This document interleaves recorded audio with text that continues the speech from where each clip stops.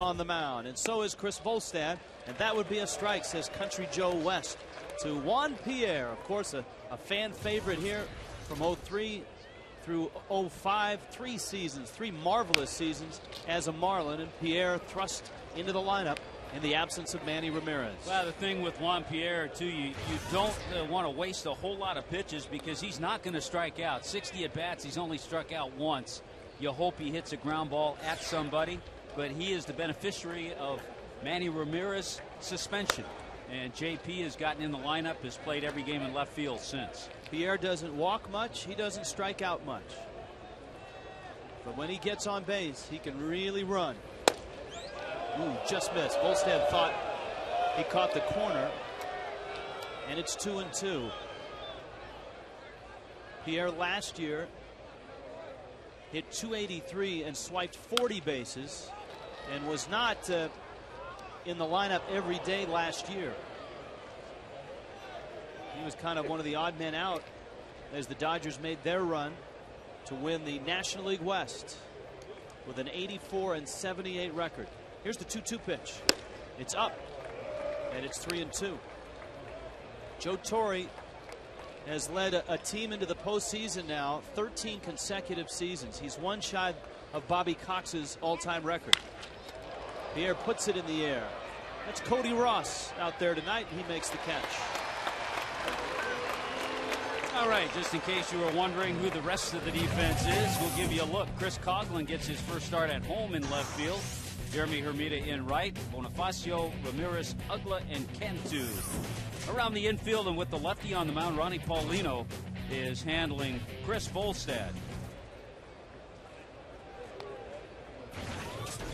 Volstad at two and two, start number eight tonight. And here is Rafael Furcal. He runs up to bunt, drops it down, third base side. It's going to trickle, trickle, trickle, staying fair, and it just goes foul. wow! Look at Bonifacio. you know, you have to make that quick decision. And he realized at one point in time, if he picks it up, he's not going to throw out Furcal. So then he just let it go. All right, they hit the hit the little pebble. It's fair. It's fair, and it just misses the bag.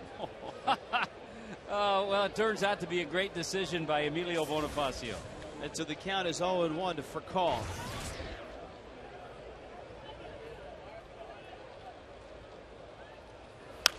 Now, obviously, Rich, a, a different look with the Dodgers, and we'll talk about this with uh, with the Mannyless Dodgers because Joe Torre has loaded his speed at the top of the order with Pierre Furcal and Orlando Hudson hitting in the third spot. 0-2. Yeah, many people have said, well, what are the Dodgers going to do without Manny? But you look at this lineup, it is filled with accomplished big leaguers, all stars, guys like Furcal and Hudson and Russell Martin, young studs like Ethier, Loney, Kemp, a grizzled veteran like Casey Blake, Juan Pierre. I mean, they're not wanting for offense right now. They've got plenty of pop in their lineup.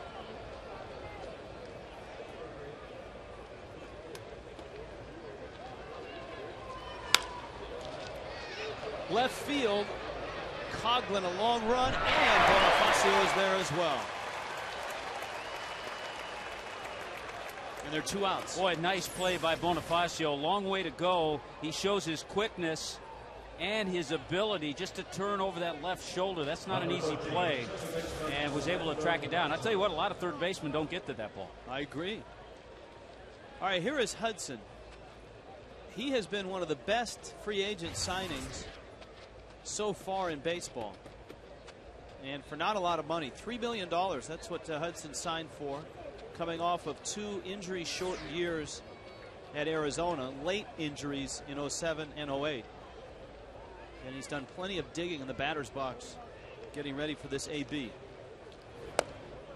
The O Dog has hit in five straight, and he had six hits in Philadelphia, where the Dodgers took two of three from the Phillies.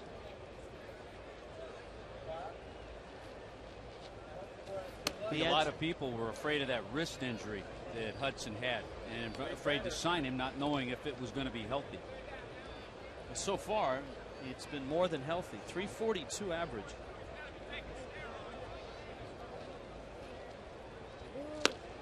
Goes after the high heat. It is two and one.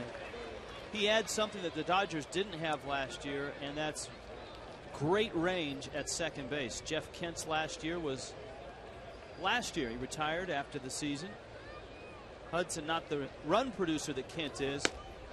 That's a strike.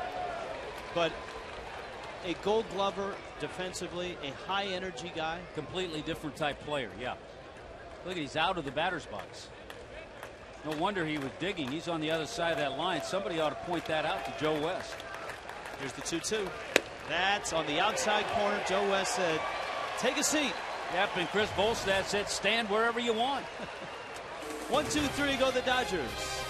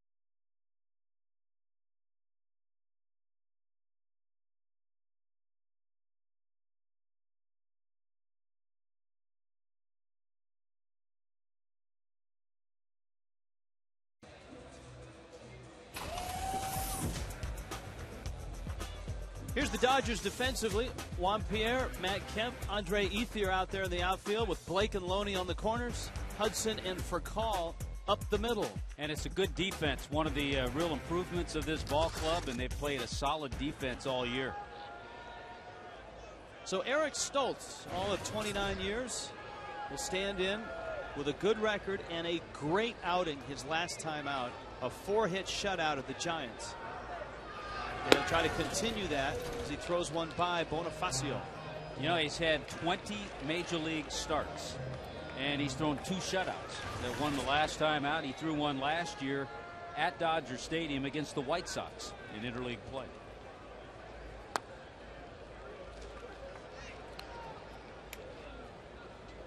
Bonifacio, Chris Coghlan, and Hanley Ramirez in the bottom of the first inning.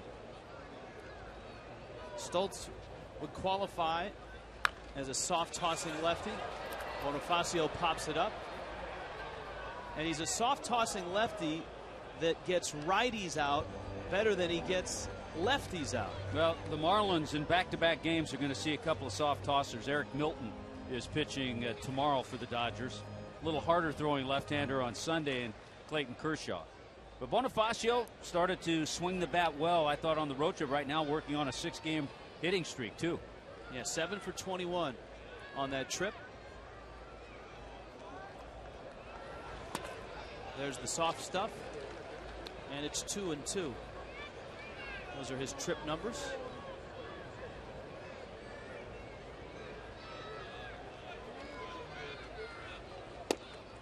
That one just missed. Martin tried to snap it back. Although Orlando Hudson is probably muttering to himself out at second base that that was a strike when he was up there. Yeah, especially with the view he has from second base. 3 2. Smacked up the middle into center field base hit. Bonifacio's aboard.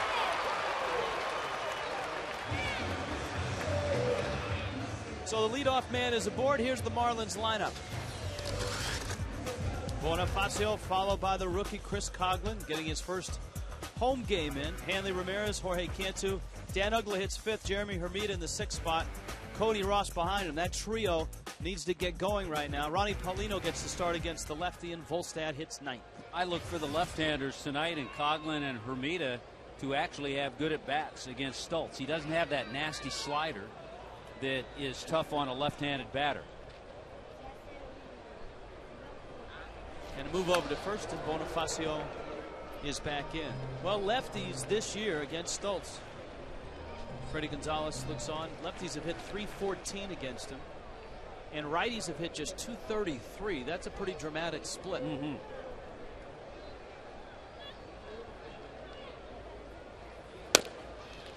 Coghlan takes a strike. Chris Coghlan, of course, made his major league debut on the road trip out of the Tampa area. An all SEC third baseman at Ole Miss.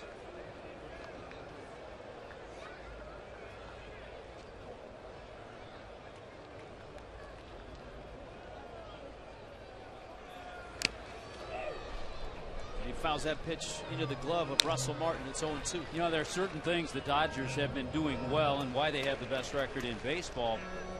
In the month of May, and this is an area that has been a concern for them, in the month of May, their starting pitchers have the best ERA in the major leagues, 2.25.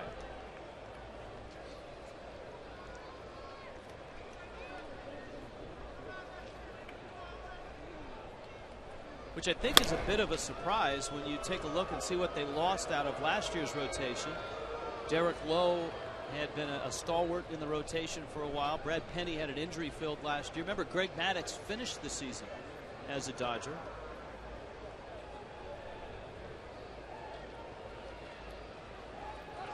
Bonifacio breaks. Martin set up way outside.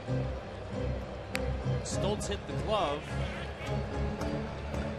but it's a ball. But the uh, former catcher Joe Torre and third baseman, he knows what a catcher can do trying to bring it back on the corner.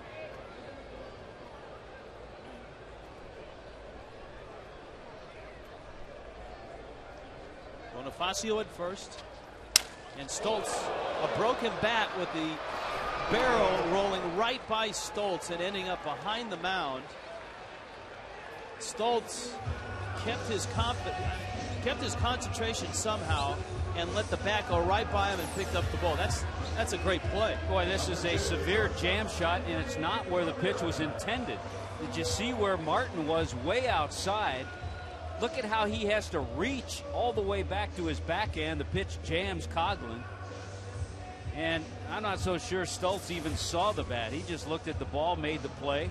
But in the meantime, Joe West does a little cleaning up, and Bonifacio's in scoring position. Now, Joe West is going to bring that bat over and hand it off. Major League Baseball still is studying the uh, breakage of bats, and in particular the maple bats. And any bat that breaks like that is kept and studied as they continue to try to to try to uh, solve that problem. Now the Marlins dug out with a few words just wanted to make sure they, they knew where that bat was going. Hanley steps in. Bonifacio's in scoring position, and there's one out. There are restrictions in place this year for maple bats, but Major League Baseball continues to study the problem. Hanley's hot 11 straight.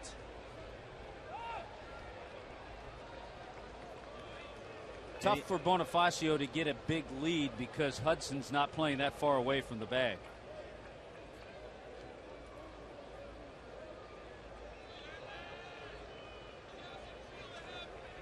One of the things Hanley Ramirez has done very well this year is hit with runners in scoring position. Close to 500, 481. It's not an area where he excelled last year, especially when the Marlins moved him into the number three spot in an experimental role. Yeah, and that was always the concern. The, the naysayers felt that he wasn't that type of hitter. But I think once he found out in spring training that that was where he was going to hit, it uh, changed things. And he's done a terrific job in that number three spot. They try to get in on him. Martin is as uh, active a catcher as you'll find, moving from side to side. And you can see most of his movement is late movement because he doesn't want to tip the pitch location to the runner out at second who might be able to relay it to the hitter. And sometimes hitters can hear or sense when a catcher's moving. And sometimes that movement can be a decoy, too. Up. They want it up. And in. So far, Stults has shown very good control when he's gotten the target from Martin really every pitch except that one he threw to Chris Coghlan and jammed it. Bonifacio, a leadoff single. Hanley's behind in the count 0 and 2. Let's see where Russell Martin's headed on this one. Down and away. And it's in the dirt. It's 1 and 2. Now, we talked about Orlando Hudson and how he's keeping Bonifacio close. Because he's so close there, there's a lot of room up there for Hanley. And we've seen him hit a number of balls to the right side and get base hits that way.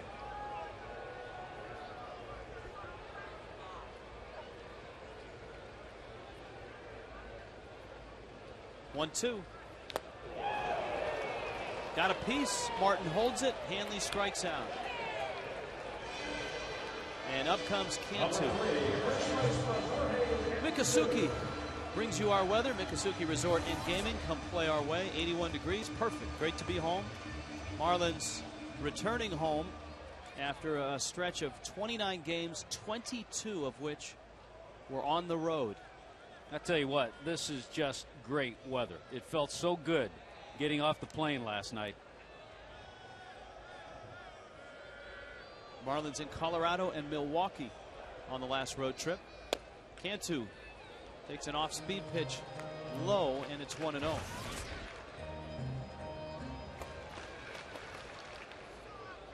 Cantu has a big RBI number and has been the big run producer for the Marlins, but struggled on the road trip, just 3 of 21.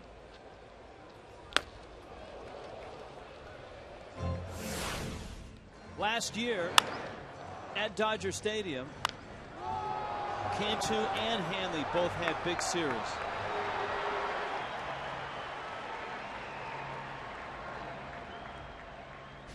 That's the thing about Jorge Cantu. Even though he's had some struggles, he's managed to mix in some RBIs. And that a home run against Stults. During batting practice, he was mic'd up, and throughout the game, we'll give you the audio of Jorge Cantu during BP. Right now, he's behind in the count one and two. Bonifacio still out at second. Marlins trying to jump out in front. The Dodgers have been a great first inning team all year long. Well, I think you see the way Stults likes to work. Number one, he's not afraid to pitch inside, even though he doesn't have a 90 mile an hour fastball. Big slow curveball. Haven't seen that yet. A lot of changeups, and he'll throw that anytime. But that mid 80s fastball is effective because he's not afraid to go inside. 2 2 pitch. Cantu got it off the end of the bat. For call races out, calling for it. And in front of Pierre, he makes the catch. Marlins leave a runner out at second. We're underway and scoreless.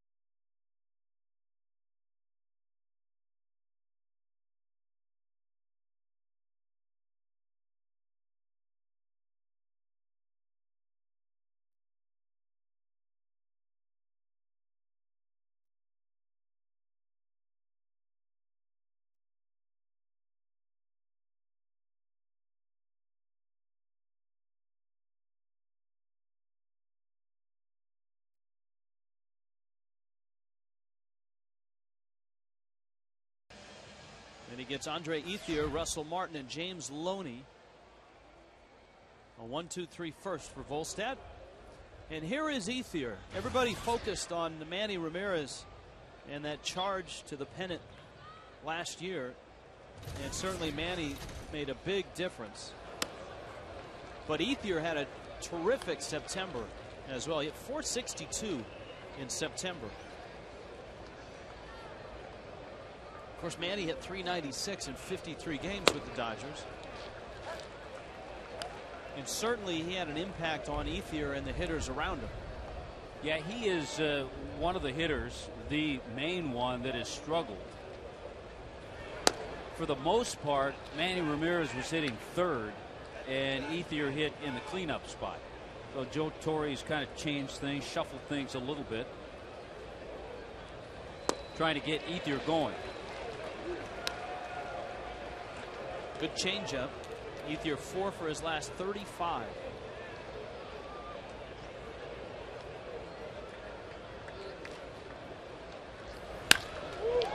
Center field hit pretty well. Ross on the job and there. Marlins and Diamondbacks continue the homestand on Monday the 18th through Thursday the 21st. All four games at 7:10. Look in Tuesday's Miami Herald for the two for Tuesday coupon. 1-877 Marlins or visit marlins.com.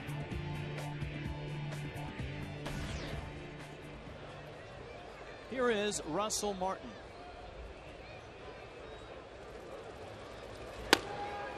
Fourth year Dodger, two time All Star, won a gold glove in 2007. The Canadian catcher has been a terrific player for the Dodgers in his brief career.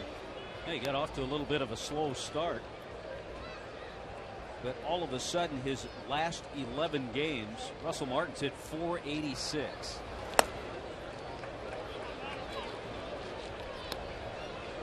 They had a lot of guys that had a pretty good three game series in Philadelphia. Five for 11 was Martin. That's the type of ballpark where if you want to get your bats going, it's not a bad place to park yourself for three days. Even though it's not been friendly for a few of the Philly hitters. Tough start for Jimmy Rollins. Phillies have scored first tonight against Washington and lead at 1 0. Hottest hitter the Phillies have is still Raul Ibanez.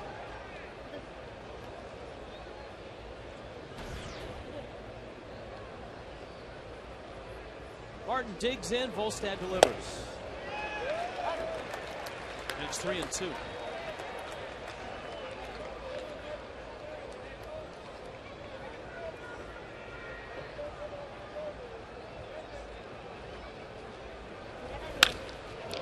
Line shot. Uggla makes a catch. And so there's two outs. And here comes James Loney. Baseball fans, $250,000 Mustang money tickets go on sale on May 19th. Register from then until June 11th to win a 2010 Ford Mustang V6 convertible. It's the ultimate Florida baseball weekend giveaway or $100 gas cards. Visit FLALottery.com for details.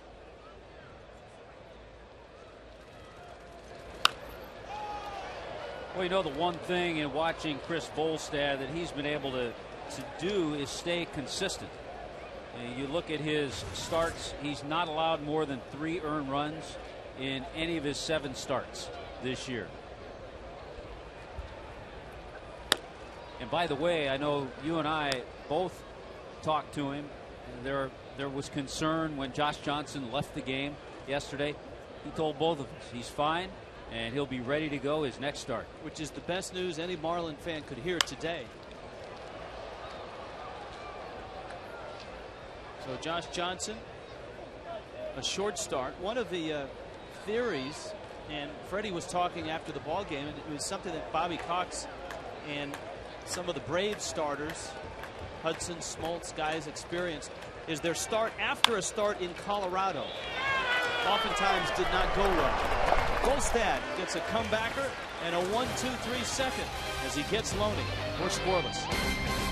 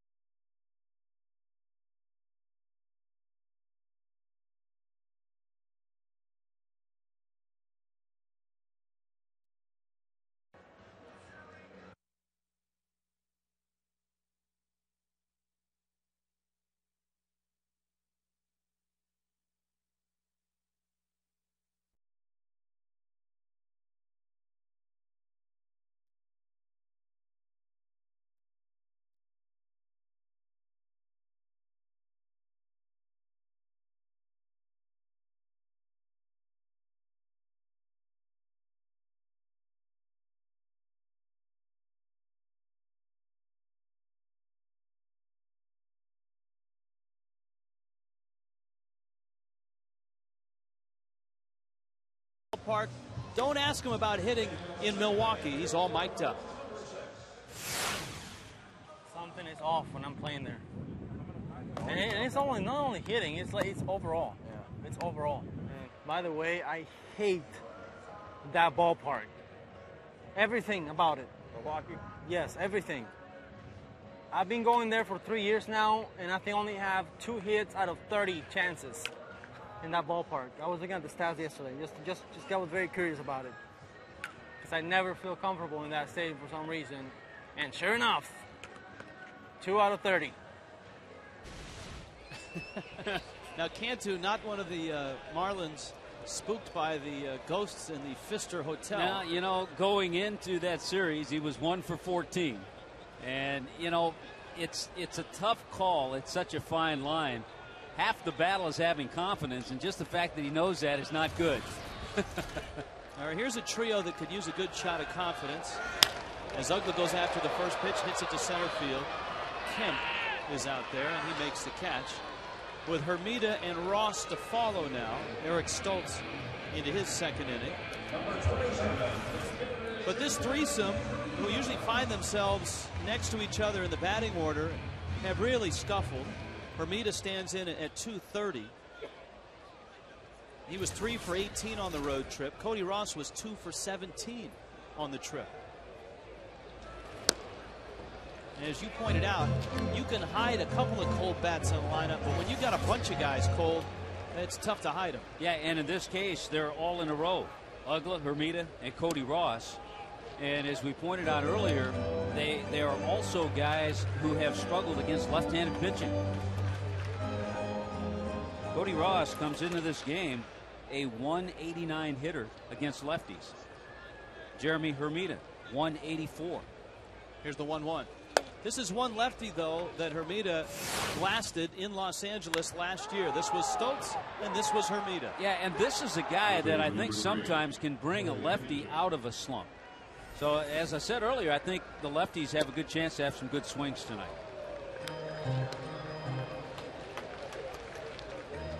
Jim Presley working with Dan Uggla, trying to bring him out of his funk.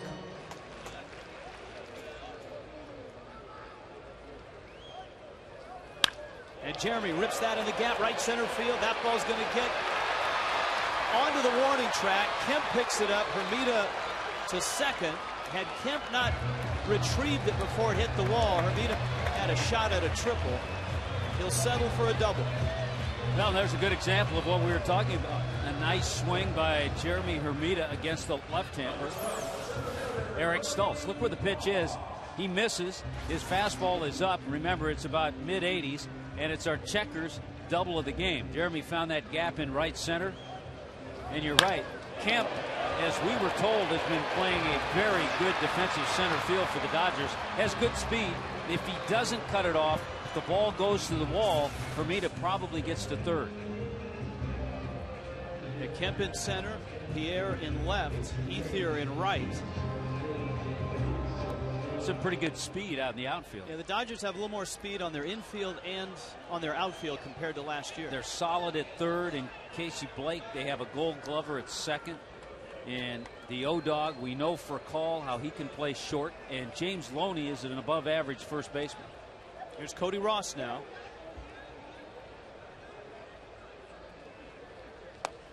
And Ross takes down low. Cody's average hovering above 200.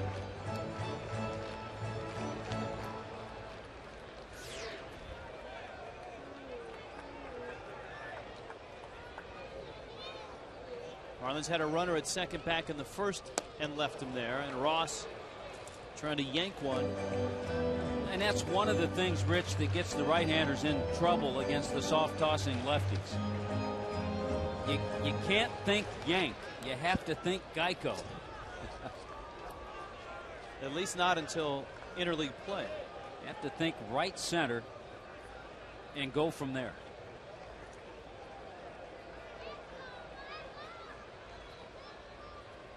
Cody Ross was a Dodger and a, uh, a Dodger farmhand for three years. There's There you got to think out in right center. There's that Geico sign. Ross waiting on a 2 1 pitch. And a strike. And Cody backs away. Stults evens the count at 2 and 2. Cody originally drafted by the Tigers organization, traded to the Dodgers in 04, spent a couple seasons in Las Vegas, and played a total of 22 games in Dodger blue.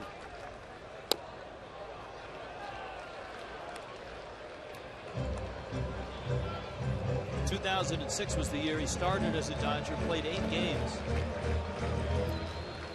had two home runs as a Dodger. Then he went to the Reds for two games, and then the Marlins got him.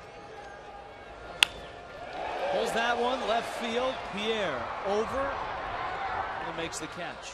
Just got in on him enough. You could hear it. It didn't have that solid crack of the bat. And Stults got away and made a pretty good pitch.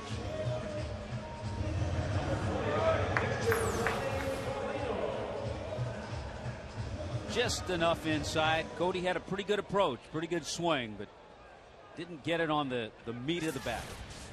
This should be a pretty good game of cat and mouse here. You've got Paulino who hits lefties well, but you've got first base open and the pitcher on deck.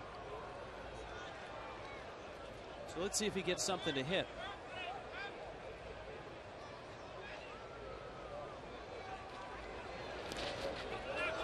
Ooh, squirted away up towards third base. Martin got there quickly. And Hermida at second. 1 0. If you're the runner at second, you have to make sure you're going to make it because you don't want to get thrown out at third. A couple of steps by Hermida, but then he saw, and you talked about how quick Russell Martin is behind the plate.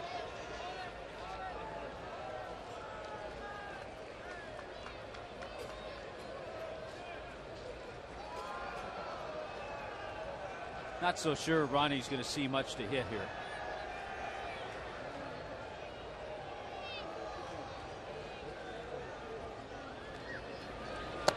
So as a hitter, do you try to go out of the zone or you just Yeah, take is- your walk? Well, this is where if you're an experienced hitter and you're in that number eight spot, sometimes you might have to go a little bit out of the zone. Maybe guess backwards, you know, try to guess off speed. Now, after missing twice, they're just going to put him on. And that's why it's a, a tough spot to hit. We talked about it a lot with Cameron Maybin when he was hitting in that number eight spot. That's why it's tough for a rookie to hit in that slot. If there's one ray of sunshine for the Marlins by facing a soft tossing lefty, is he might be an easier pitcher to hit for a pitcher, a guy like uh, Chris Volstad. Oh, I think you see pitchers have pretty good swings against guys like this.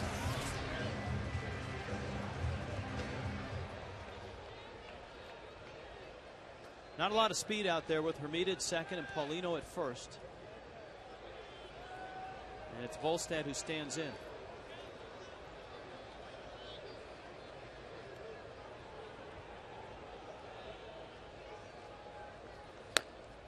Chris goes after the fastball. And basically, what you're saying is sometimes a pitcher like this, a soft tosser, has uh, more stuff that'll go into the bat speed of a pitcher. Right, you can't just throw it by a guy. Change up. He's got a good one. 0 2. Joe Torre, year number two.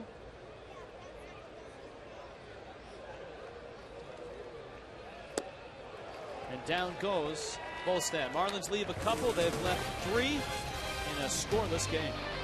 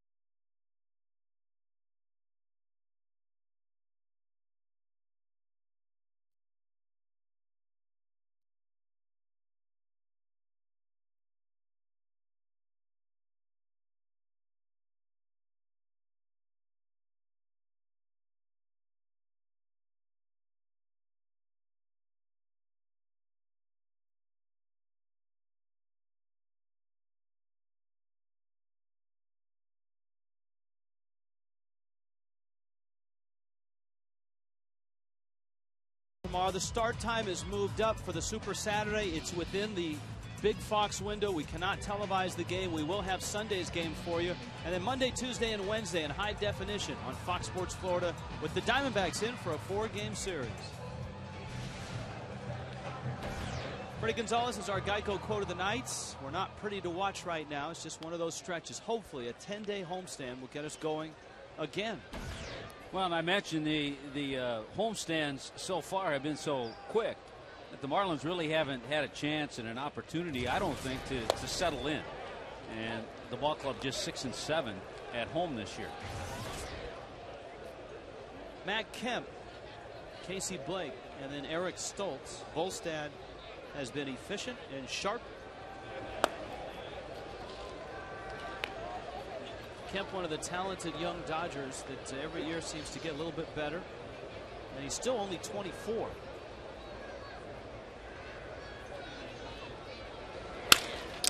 Breaks his bat. Hanley awaits.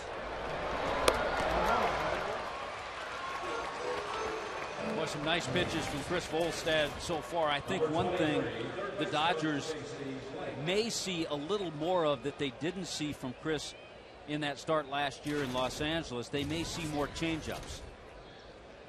But a good uh, two seamer to saw off the bat of Matt Kemp.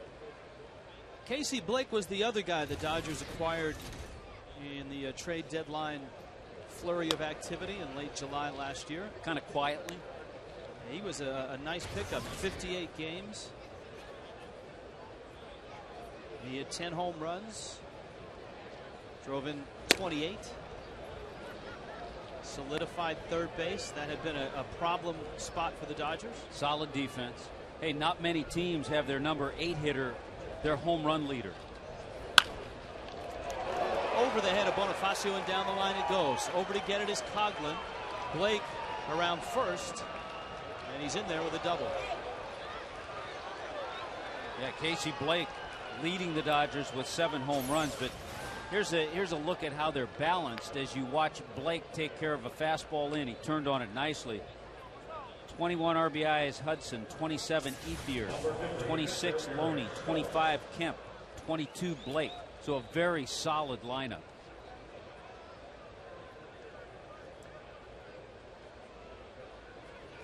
Of course, this is also a ball club that will be scrutinized for the 50 games that Manny misses to see how they play without him, if they can be as successful without their slugger.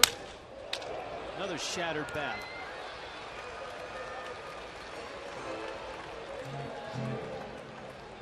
Both pitchers make this a great example of two pitchers that don't throw 98 miles an hour but can still saw off bats because Stults has done it and Chris Volstad has. Here's JP, who still makes his offseason home here in South Florida. A native of Alexandria, Louisiana.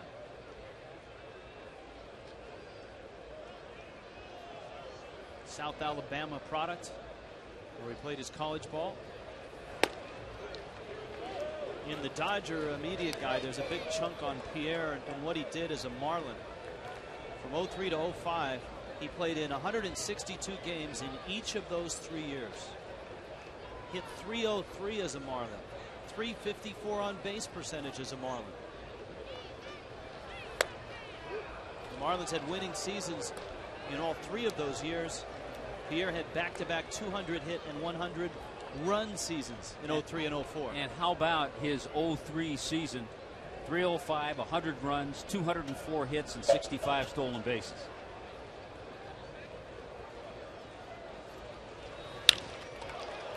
Center field, Cody Ross. Going back. Out where Pierre used to patrol. Still scoreless.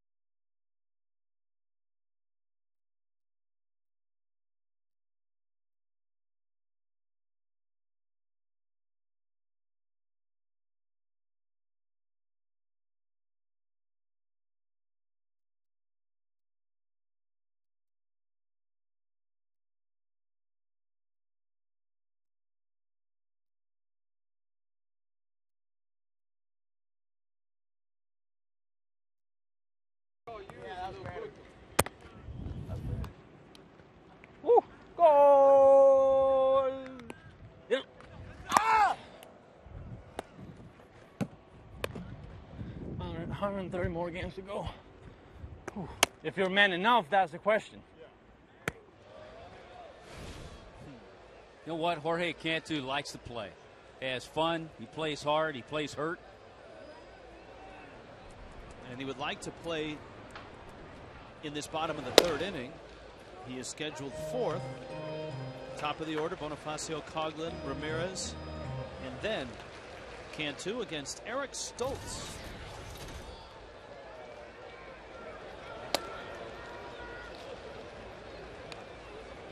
Just when Stults gets you leaning a little bit for that fastball away, or the changeup or something off speed, then he'll run the fastball in. A low strike, and it's 1 2. Out of tiny Bethel College in Indiana, a 15th round pick in 2002. You were talking about the Dodger rotation. They've got Randy Wolf in there, Chad Billingsley, Clayton Kershaw, who the Marlins will see on Sunday. Billingsley at this point probably their ace, but he's young. Hudson. One out here in the third. Number eight. And I think for the Dodgers, that was uh, probably the big question mark. We talked about the subtractions from last year. Could Billingsley step up and be the anchor in that rotation? Is Kershaw the the guy that they think he is? The one of the top draft picks, top prospects by the Dodgers, first round pick in 06. And he's only 21. Clayton Kershaw, Billingsley just 24. Dodgers have gone young in the rotation, so much so that their payroll is only 100 million. I think a lot of people feel, oh, the Dodgers are probably 130, 140 million. The Dodger payroll this year is 100 million. Part of that is because Manny Ramirez's contract is backloaded, and only 10 million of it is on the books for this year. And they still have some guys under control in Billingsley and Kershaw, certainly. And that's another thing about this Dodger team. And oftentimes you hear people complain about the Marlins for not signing their young players to long-term deals. Russell Martin doesn't have a long-term deal. Andre Ethier, Matt Kemp. You mentioned Billingsley and uh, Kershaw. Ned Colletti has uh, done a nice job of assembling a, a team that last year won the West. Won the West by two games over Arizona. Of course, the one big name you're talking about their starting rotation. He's been injured, trying to come back from uh, rehabbing right now is Jason Schmidt, and they've paid him a lot of money for really nothing ever since he became a Dodger. Jason Schmidt is in the last year of a three-year, $47 million contract as Coghlan strikes out. $47 million for Jason Schmidt. He was a free agent coming from San Francisco, where Ned Colletti was the assistant general manager. And Schmidt has made just a handful of starts. He made a rehab start, his first rehab start, trying to make his way back from surgery two days ago.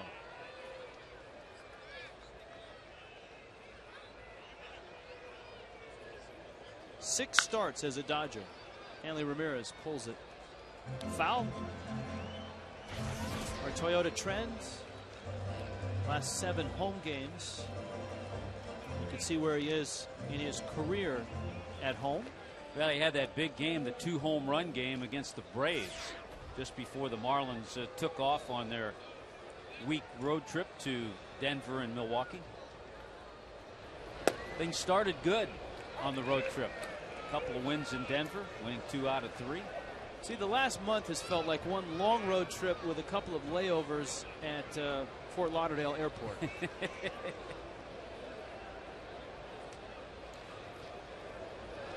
Marlins came home for a three-game homestand and then a four-game homestand in the middle of a 29-game uh, span, 22 on the road. And now can settle in 21 of the next 27 at home. Stults throws that one by. Hanley Ramirez. Both pitchers on their game tonight were scoreless.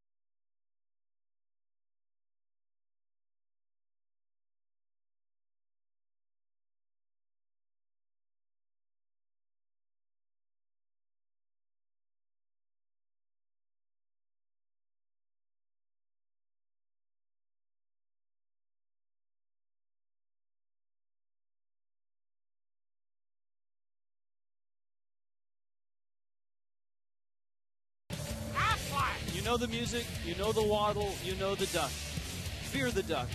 Most wins by a Dodger. Oh, I like this question. Sandy Koufax, Don Sutton, Fernando Valenzuela, or Don Drysdale? Good Well, question. The duck must be on the uh, top of his game. I think the duck was a little road weary. that one foul back. That's a good one. Dodger. Well, Koufax had such a brilliant but short career. but but won a lot of games during that short spell. Who else was on there? Valenzuela and Sutton Fernando Valenzuela. and Drysdale. So three three of those four Hall of Famers.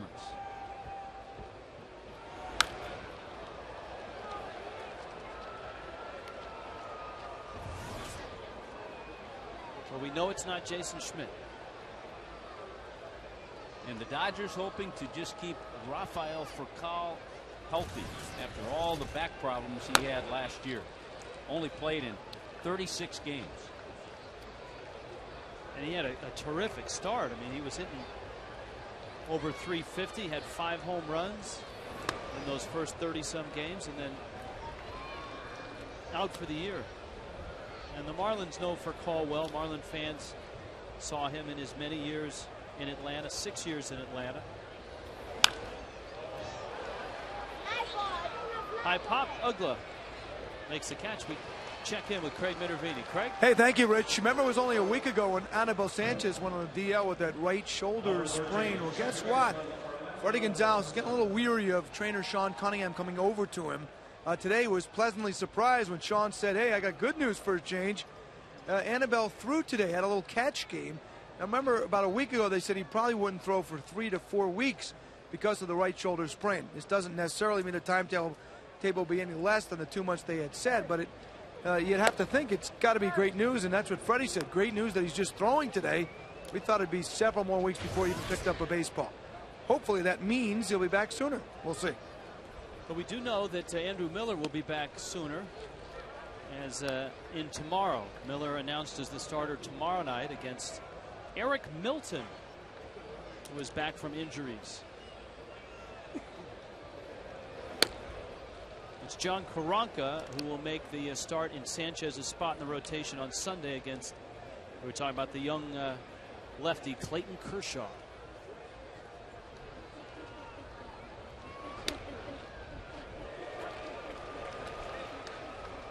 Orlando Hudson. Not in agreement with Joe West tonight. Remember, he was called out in the first inning.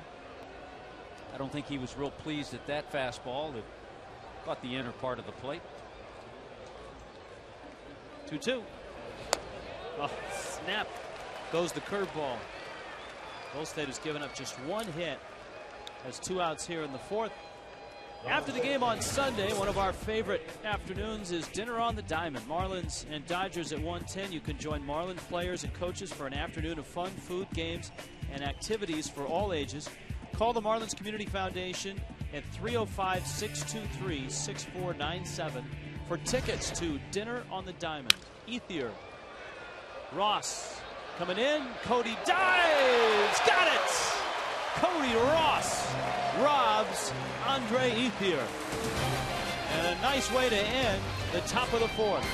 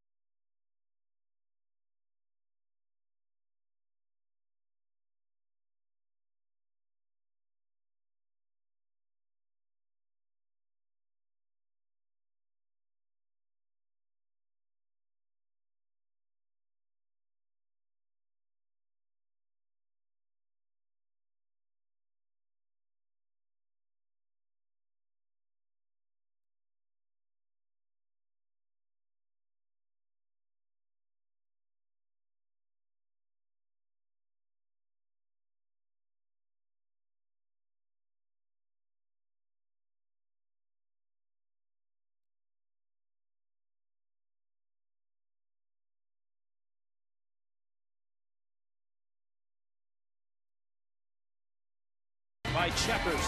Little place, big taste. By the collection. Love cars? Join the club. By Corona, official sponsor of the timeout. And by Honda South Florida. Visit your South Florida Honda dealers online at sfhondadealers.com for a deal on a fuel efficient Honda.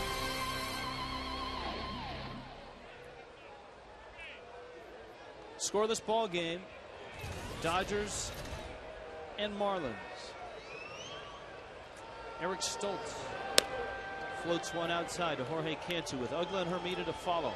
I tell you what, this is a pure lesson in pitching. Watching these two guys tonight, Stults and Volstad.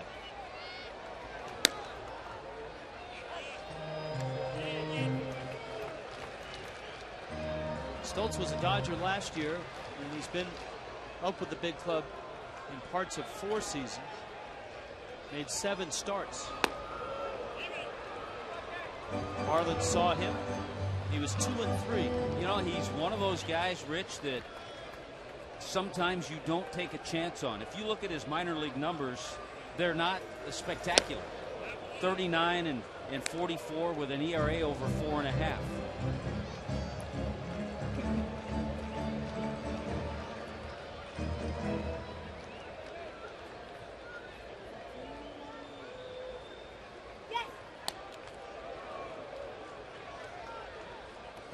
Similar in style, in almost in career as well, to John Koronka.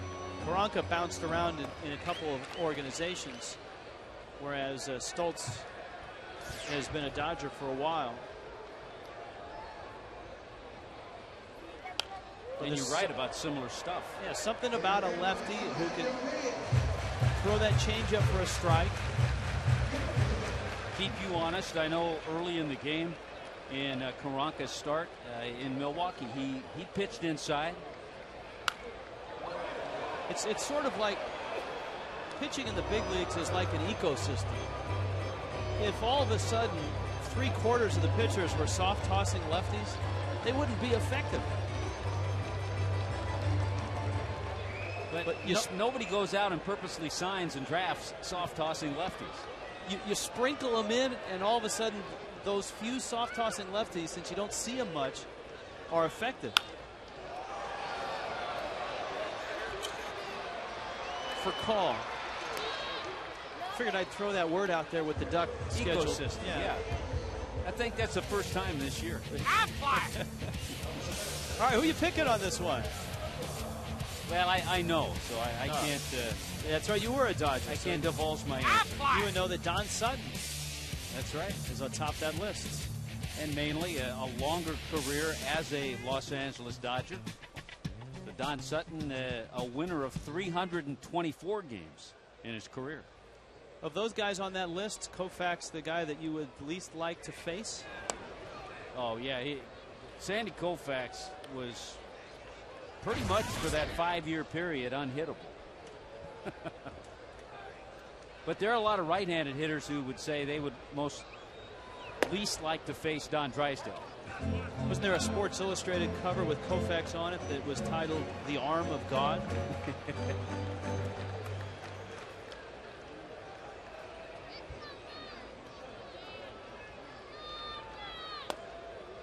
At the knees, boy, you could see the Marlin hitters right now really frustrated. Uggla's not looked comfortable up there. Cody Ross didn't. Hanley Ramirez has struck out twice. Cantu's popped out twice.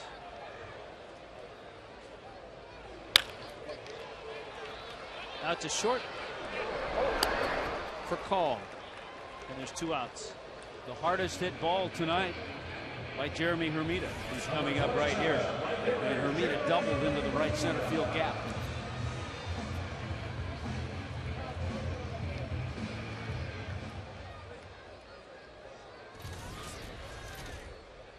So Jeremy now in his uh, career against Stults is two for four with a homer and a double.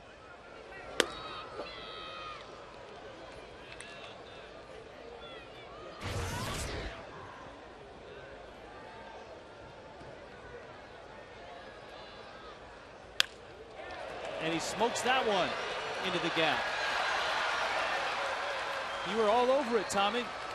Soft tossing lefty. Sometimes a lefty is better suited. Yeah, I've been kind of half right, though, because uh, Chris Coghlan has not had good at bats against Stults. But sometimes that's just a, a, guy who's a little more experienced against a youngster.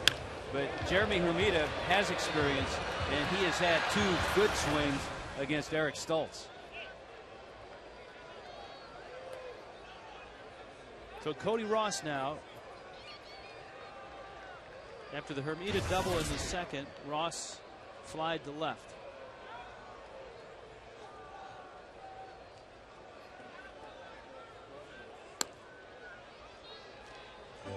Boy, Cody made a nice play to come and get that uh, shallow fly ball hit by Andre Ethier. Ethier had a full swing, but caught it a little bit on the end of the bat, and that's always a tough play to judge by an outfielder. Sometimes you get fooled by the big swing.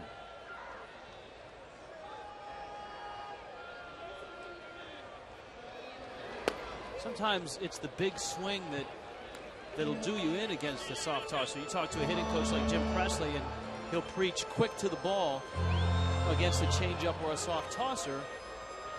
And you stop and think about it, and it makes sense. But it's almost you would think quick to the ball for a guy that's throwing 98.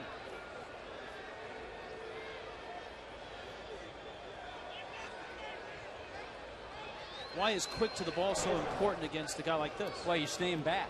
You, the longer you stay back, then you have to be quick to the ball. Talked a little bit to Jeff Conine before the game about that, about soft tossing left-handers, and if you have that big swing, if you if you're thinking home run, you're going to play right into his hand.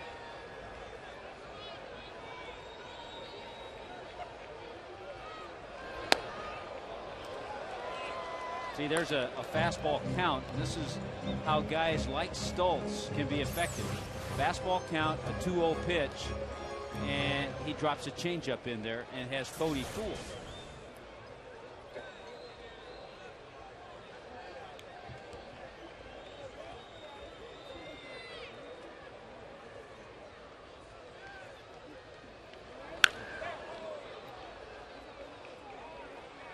Now it's two and two and you're not sure what to expect. No, and by the way he fouled off that fastball, he was looking fastball again.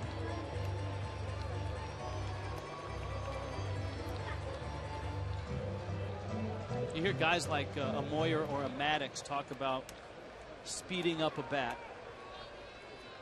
and gauging the sequence of pitches on what kind of swings a hitter has early in the at bat.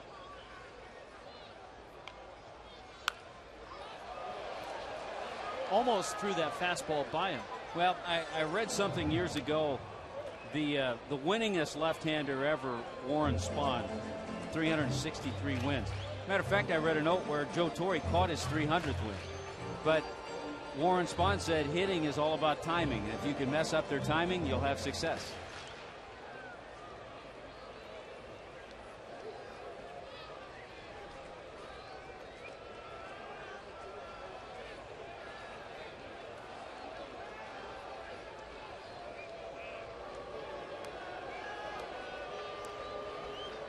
Two and two with two outs. Scoreless game here in the bottom of the fourth. Let's see where Russell Martin wants this pitch from Stults.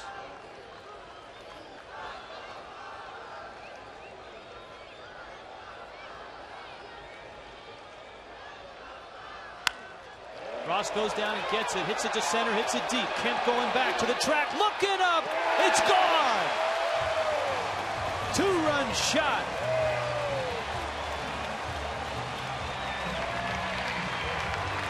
Now you're talking. Cody Ross got a pretty good pitch from Stults. It was a changeup. It was down, and Cody Ross went and got it and showed his power. Cody Ross about 5'10". Look at the changeup down. That's a good pitch. I think Stults probably wanted it away a little bit more, but it was about ankle high, and Cody Ross to straight away center field. That's pure power.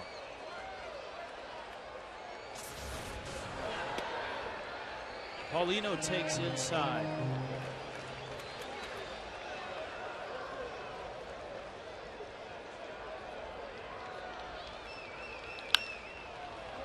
High pop.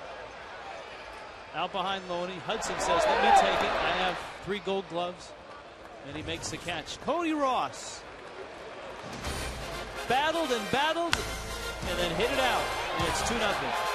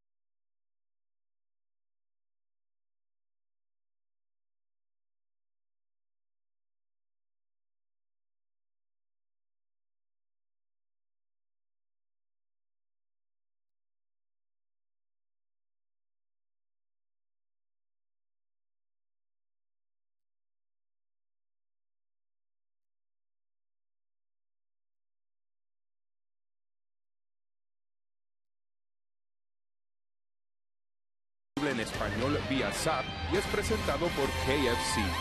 Press the sap button. Cookie and Raul will appear. Hi, guys. Aquí, hey, what's up, How are you, guys? Sorry. Rich, how are you? Good, good. Happy to be home. Yes, absolutely. Look, look, look, he's eating. What's up with that? Yeah, I forgot. Oh. I didn't. I didn't want to tell you anything because last time uh, we had an unexpected visitor. so this time I want it all for myself. Sorry, guys. Hey, Cookie, what are your memories about uh, facing the Dodgers back in the 60s? Who would you rather face, Koufax or Drysdale? Well, unfortunately, I got my first base hit of Sandy Koufax. You know, Unfortunately, that's good. so Yeah, that's outstanding. that's not bad at all, is it? But both of them, Drysdale was very tough. You know, that sinker ball sidearm that he used to throw, and no question, two great pitchers. Cody Ross goes wow. deep Que into center, makes the catch. Hey, Cookie, do you still have you still have the baseball from that that base hit against Koufax? Yes, sir, I sure do. That's good. Absolutely. That's good. All right, guys, have a good show. You too, You too, guys. All right. Chris Volstad has been given a 2 0 lead right now. Russell Martin hit a ball about 410 feet. But out in the Bermuda Triangle, that's an out.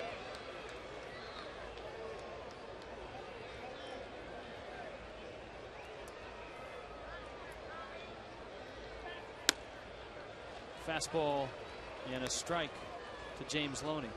By the way, happy to report that Chris Coghlan did get that home run ball he hit. Yeah, that's nice.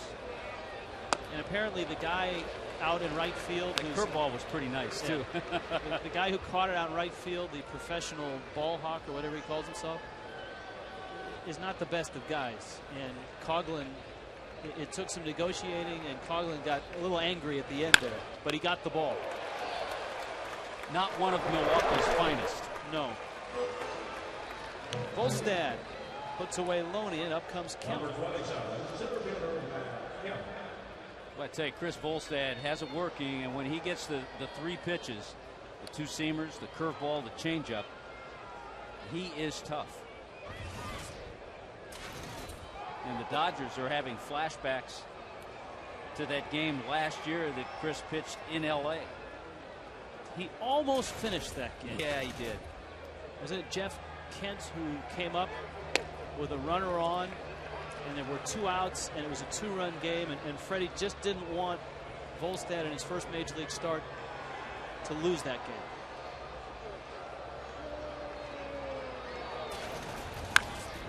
So he ended up going eight and two thirds and giving up the one earned run.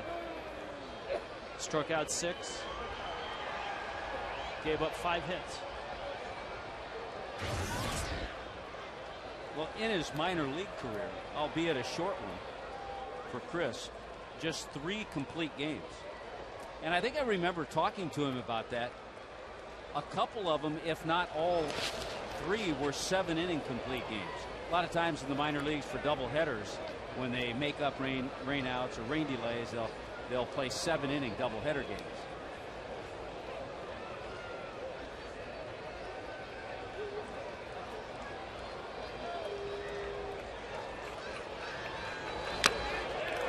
He is sharp tonight. Volstad has limited the Dodgers to just one hit. At the bottom of the fifth, 2 nothing.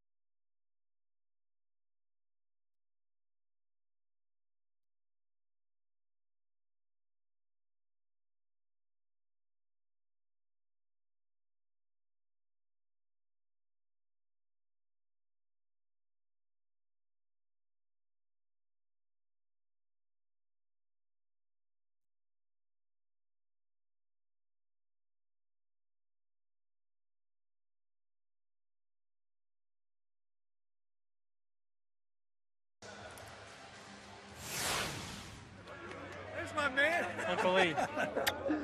How you Why, doing? man? Good. Doing How you okay? Yeah. Good to see you. Last man. time I saw you, I was sitting up there, and I said, I ain't gonna bother him. Why I- not? You should say something. No, the season just started, Uh huh. and you got hit on the hand, but then I Oh, found I out you had already hurt it. Yeah. Hey, it didn't, it didn't, it didn't bother me to get player of the week, right? the next week. Wait, let me do this. Hold on. Hold That's one of the great guys in the game, Lee Uh, Elia. Lee Elia. Uncle Lee, as he's been a little bit of everything in a this. lot, uh, a lot of players are. He has affected a lot of players around baseball in a very positive way.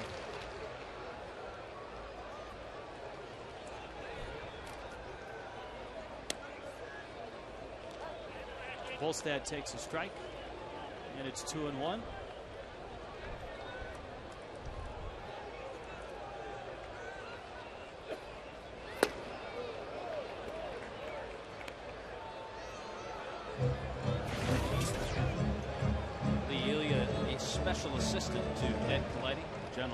Lee's been a manager. He's scouted. He's been a coach at the big league level.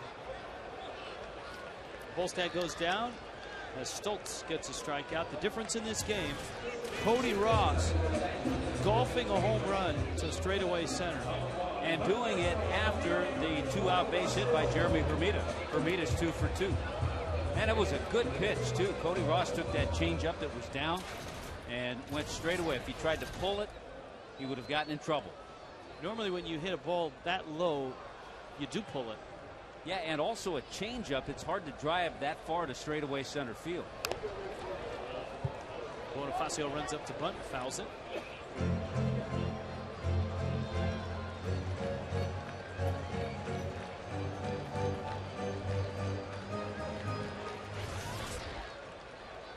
Seven game hit streak for Bonifacio with the single in the first. He's bounced out.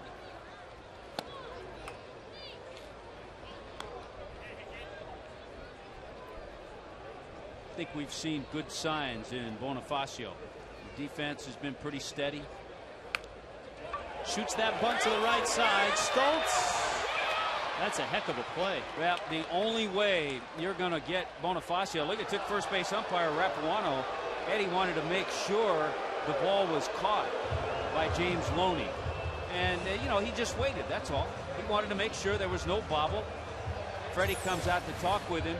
But the only way they get Bonifacio is with a terrific play. There's the catch.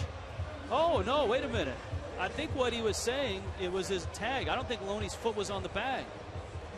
Watch this. And watch Loney's glove. That looks like his foot's on the bag when he caught it. I, I think his foot's on the bag. Let's see.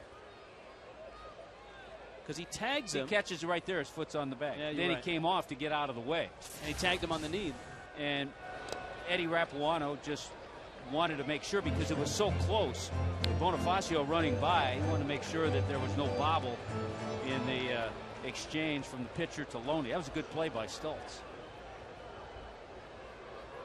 That's a great effort, and that's what you like to see Bonifacio do. Coghlan takes down low. And it's 2 0. Here's another look. He catches it on the back. Well, he, he doesn't have to tag him. He just tagged him because the throw was there. He was on the back. 3 0 to Chris.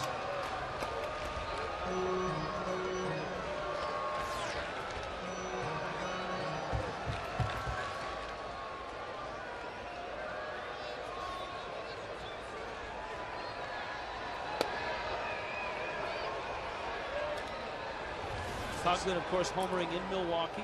Let's see what Chris gets here 3 1. He hasn't really had good swings tonight against Stults. Good, good AB. brings Hanley up with two outs. Tomorrow, Super Saturday, a post-game freestyle flashback concert with Stevie B and TKA following a fireworks spectacular. The Marlins and the Dodgers at 610. Fans get a Marlins pom-pom courtesy of New Era Cap 1877 Marlins.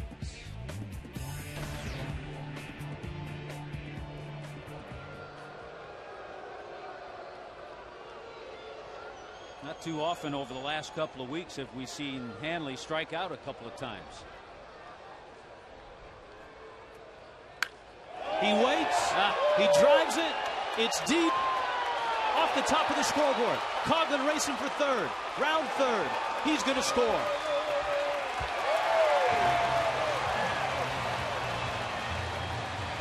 Sitting on an off-speed pitch. Hanley nearly hit it out. We've seen a couple of good swings on changeups. Uh, one by Cody Ross, this one by Hanley. This changeup is up a little bit more. Hanley again thought he had it. He got a. He's not going to get a triple on this, but he still has to realize where he's playing. I think he thought he had it. It's way out of Dodger Stadium. It's probably out in Denver and in Milwaukee as well. Good running by Coghlan. Big hit by Hanley. So the Marlins, all three runs have come with two out. Cantu. And Russell Martin's on his way out to the mound. So Hanley now with a 12 game hitting streak.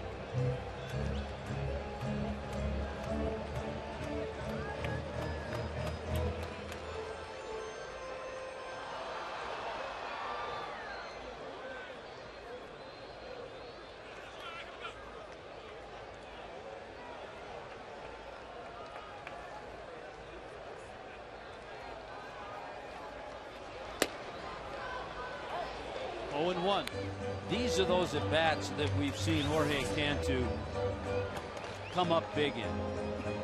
Two out base hits, not trying to do too much, just finding a hole and, and getting a base hit, driving in the run.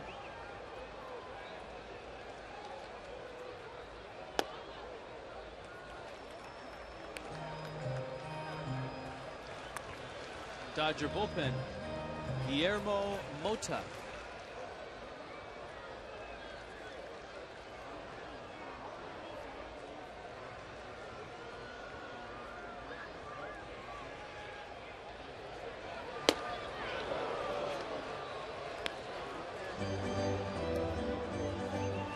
Two. Chris Volstad right now, his ball club has put three on the board.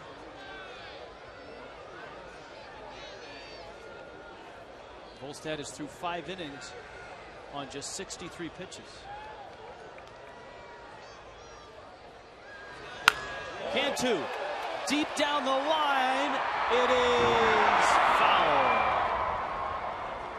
All of a sudden in this inning, Stults has gotten a few changeups up in the strike zone. The one that Hanley hit, and that one right there that Cantu just missed, hitting a two-run home.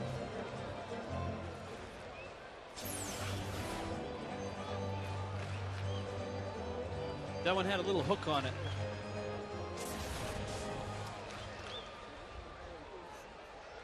Think Jeff Weaver watched that one with a little twinge of nostalgia? yeah, He's bad, bad nostalgia. He's here with the Dodgers.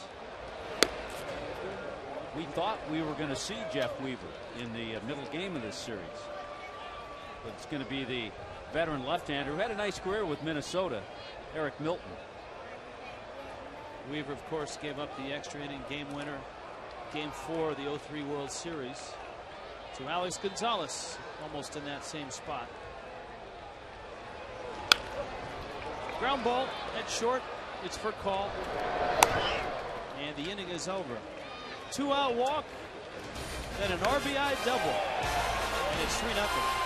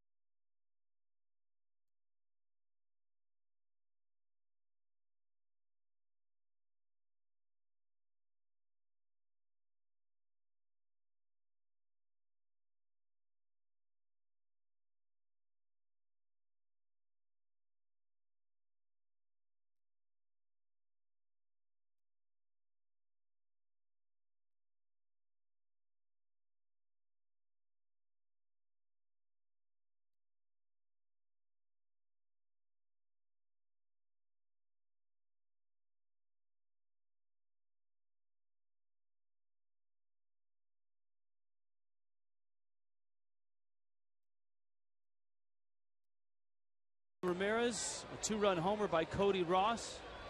And so far, a brilliant night from Chris Volstad. And Volstad throws a strike to Casey Blake with the pitcher spot due up next. And then Juan Pierre. Yeah, the only hit for the Dodgers, a double by Casey Blake, and it looks like it's uh, going to be all for Eric Stults. Xavier Paul has moved into the on deck circle. Blake gets a hold of one, and the Dodgers are on the board. Casey Blake is the number eight hitter for the Dodgers, but he's hit eight homers, which leads the team.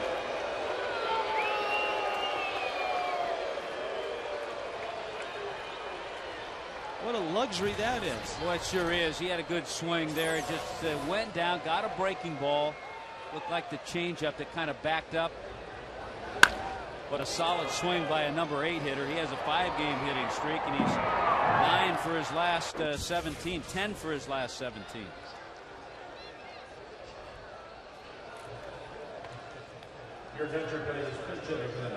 The pride of Wichita State. Casey Blake. And here is Paul, who was added to the roster when Manny was suspended.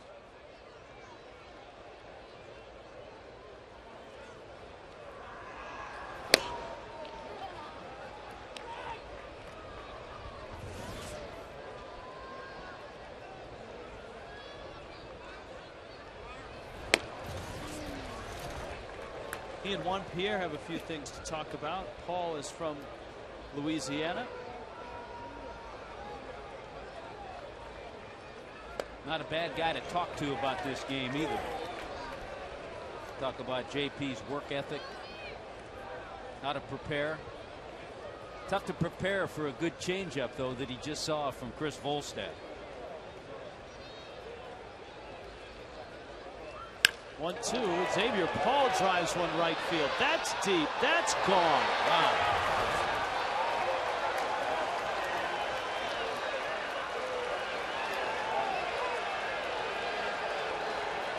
For Xavier Paul, a one-two pitch that he rides out of here for his first major league homer.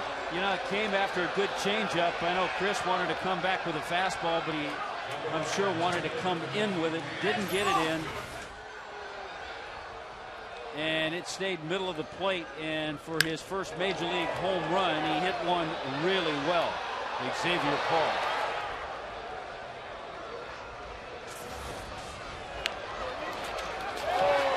Paulino stumbles. And Pierre's got himself a base hit. I don't know if he slipped on the plate, but any slip with Pierre's speed is fatal. Well, how many times did we see Juan Pierre practice this and then execute in the game? One of the best bunters in the game today.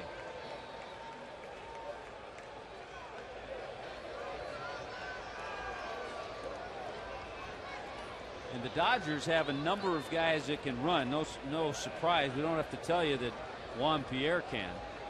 And we've seen teams over the last couple of weeks take advantage and try to steal bases. Looked like Pierre was going there.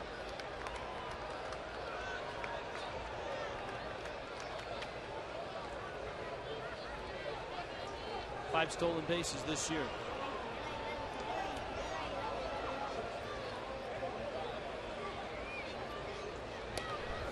And again, it's we talked about the RBIs and how they're spread out amongst the Dodger hitters.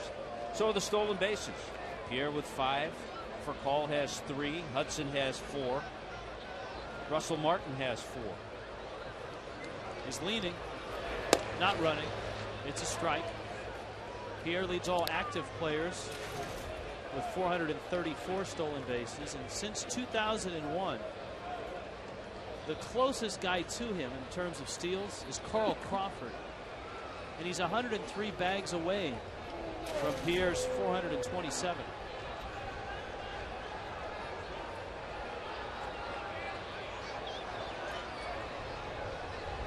He's running. Paulino's throw. Oh. Waiting for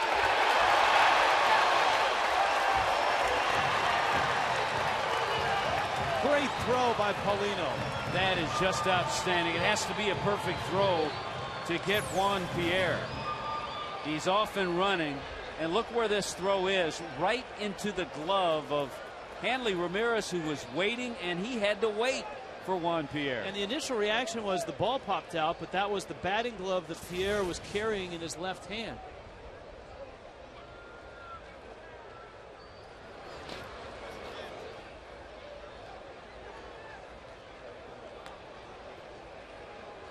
One and two. That kind of uh, stops a little of the momentum the Dodgers have going. So you, you like to see that with the back to back home runs, then the bunt single.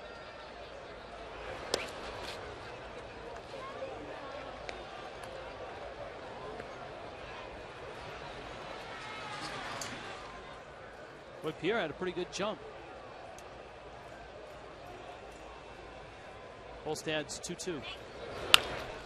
Change up back to the mound Furcal can run. Volstad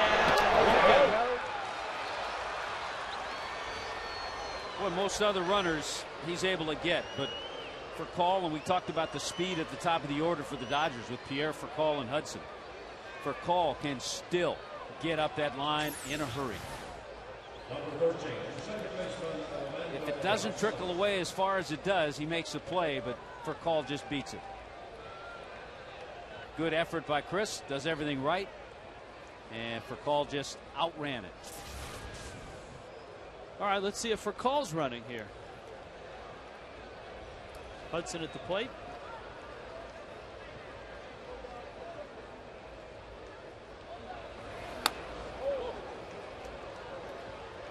Orlando Hudson has struck out twice. Once looking, once swinging.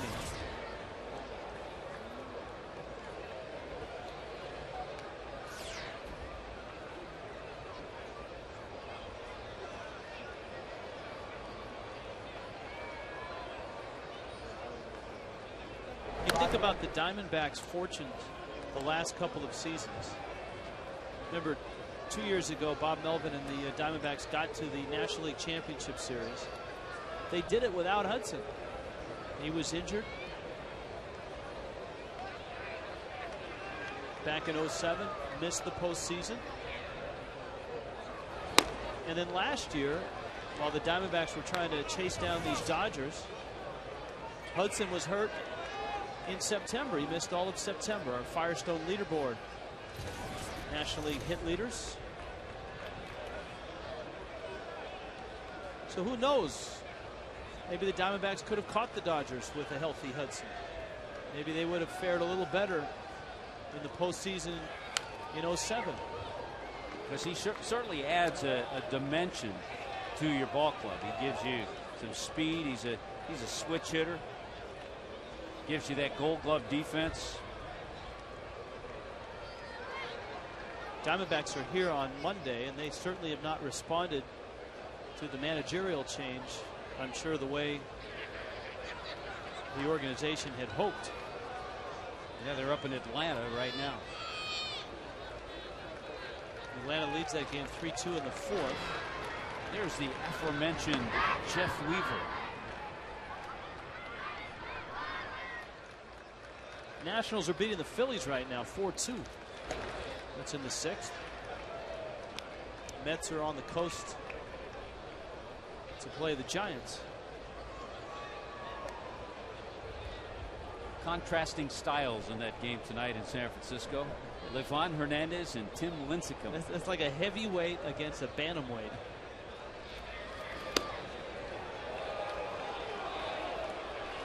But the bantamweight has the knockout punch and the heavyweight doesn't. He's a, he's a rope a dope guy.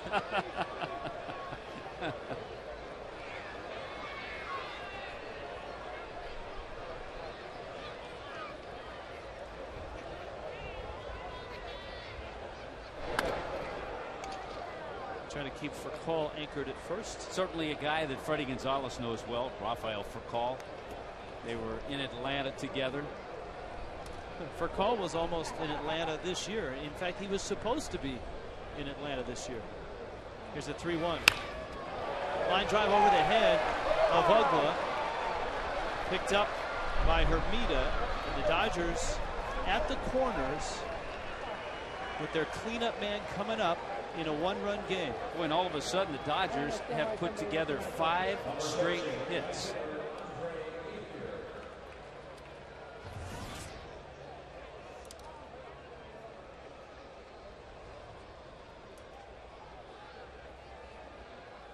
Comes Mark Wiley to talk to Volstad. Ethier has hit the ball to center field, and the last time out, he hit it well.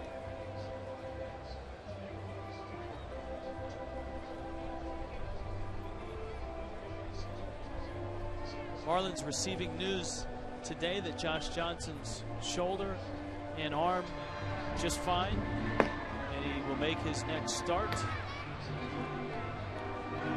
Andrew Miller back tomorrow night. Kiko Calero getting loose doesn't take him too long down there. Boy, how quickly things can change. The Marlins uh, had a nice 3 0 lead. Chris Volstad appeared to be absolutely cruising. And all of a sudden, the Dodgers, with back to back home runs and then three straight singles, are in business with one out. Bob Schaefer On and Rick Honeycutt Rick Honeycutt on the other side. around Joe Torre. It's a few years of experience.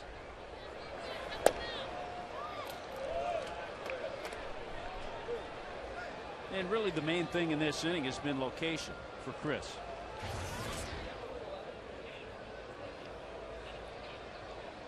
Ethier trying to lift the ball. Volstad trying to get a ground ball. Here's the good news Andre Ethier leads the Dodgers in hitting into double plays. He's grounded into 10.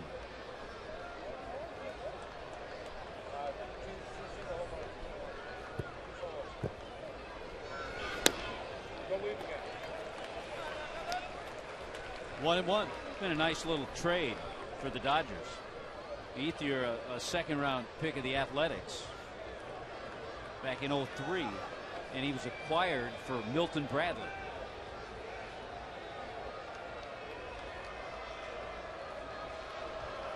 Here's the 1 1. Fly ball, left center. Tagging is for call. Coghlan makes the catch. Here comes for call. And the ball goes all the way to the screen. We had an umpire tumble down. Paul Schreiber, who was in the middle of the field, But he didn't expect to be the cutoff man. it almost got him. And this was a little inexperience on Chris Coghlan's part. You got to think a couple of things. More than likely, you're not going to throw out Furcal. He has great speed. Secondly, you've got to keep the ball down to the cutoff man to keep the runner at first base, Hudson, from going to second. And Hudson saw how bad that throw was as the umpire got out of the way. You know, uh, missed the cutoff man altogether, and Hudson now is in scoring position. and here's Russell Martin.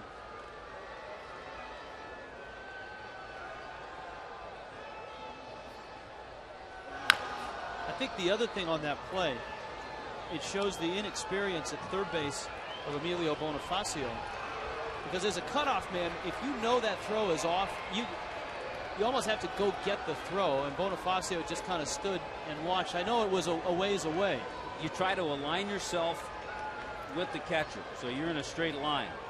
If you're the cutoff man, and if you see, like you said, that throw going so far in one direction, you've just got to go get it and cut it off. I don't know if he had time, but either way, an alert base runner, Orlando Hudson, was able to get into scoring position.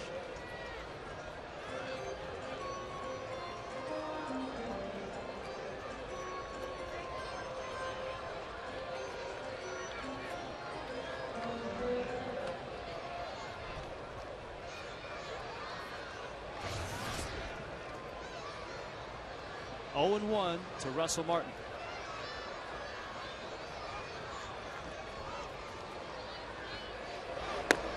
Big curveball misses outside.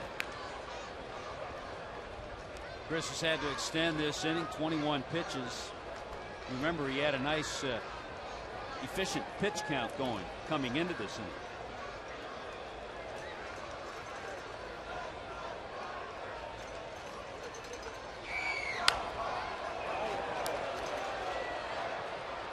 For a look, and it's out of Paulino's reach. These are situations where Chris, in his brief career, has been very good at, and that is minimizing the damage and working out of innings like this.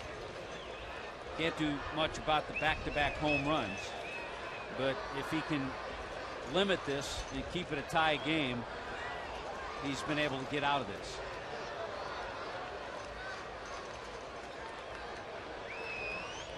Because the Marlins are going to get into the Dodger bullpen in the bottom of the sixth.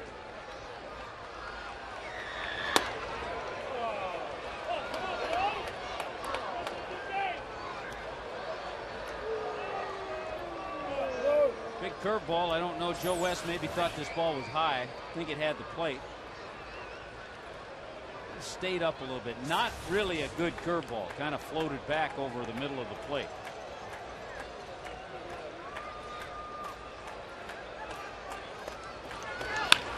Better breaking ball, better result.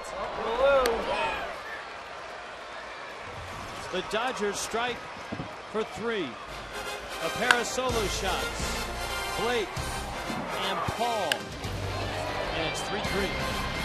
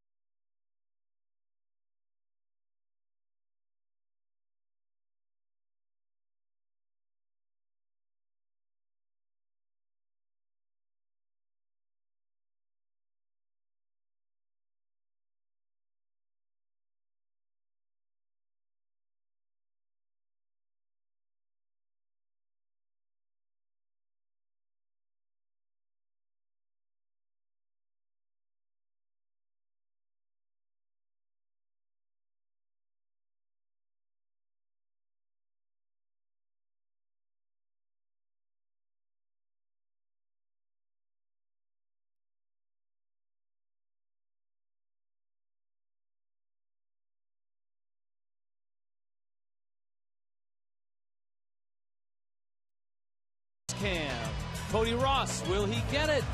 Raise it. Yes, he did. Nice catch. The Frostbrew Coors Light freeze cam. That Ross catch ending the fourth inning.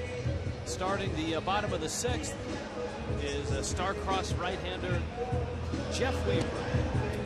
Actually spent some time earlier this year in AAA trying to revitalize his career. Was actually scheduled, as we mentioned before, to start the game on Saturday, but instead he was moved to the bullpen in uh, favor of the left-hander Eric Milton. You can see that side-winding delivery that he has hides the ball pretty well.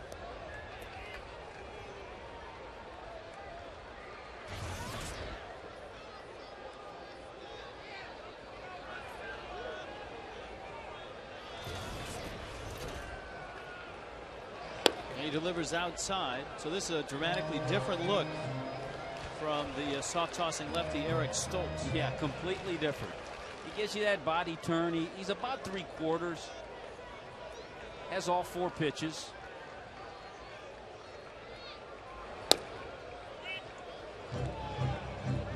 A Tiger, a Yankee, a Dodger, a Cardinal, a Mariner,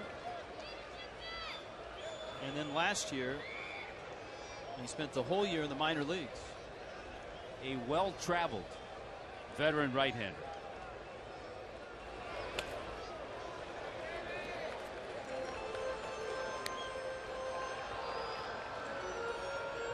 Kind of like the sausages getting loose. You know, they have their little locker room area where they stretch. I think those guys are a lot looser than the sausages. Manatees getting loose, don't want to pull a muscle. I saw Tiny out here at 4:30 stretching and doing some extra wind sprints. There's about eight smart aleck remarks that I could use, but let's move on. Here's the 3-0 pitch. And it's a strike. Uggla is 0 for 2. Dan did not look comfortable against Stults. You know, it's funny as as tough a delivery Weaver has to right-handers. Some of the Marlins right-handed bats will probably have better swings than they had against Stults.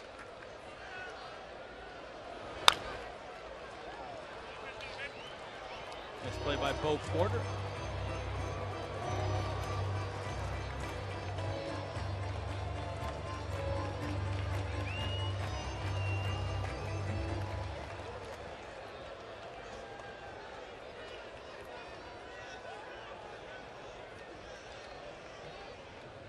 3 2.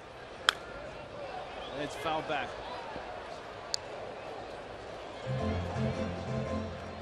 Marlins got their three with a two run shot from Cody Ross. That was in the fourth. The RBI double by Hanley Ramirez in the fifth.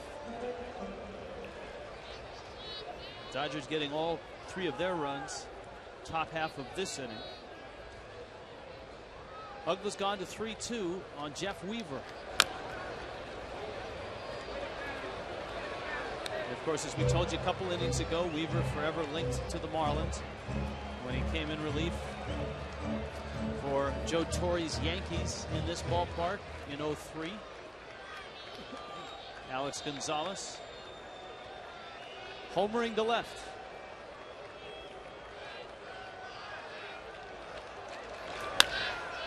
Uggla goes down, gets a breaking ball, hits it to left center, hits it pretty well. Over is Kemp and Pierre.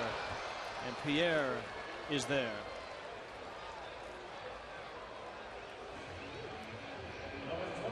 Parents, is your child celebrating an upcoming birthday with Billy's Birthday Bash? You get one ticket per child, a Marlins goodie bag, and a voucher for a hot dog and soda.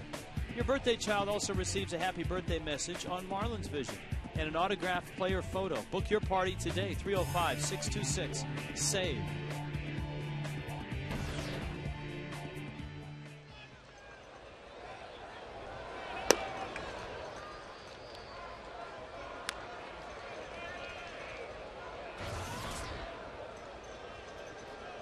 Good night for Hermida. The double came in the second against Stults. Singled ahead of the Ross homer in the fourth.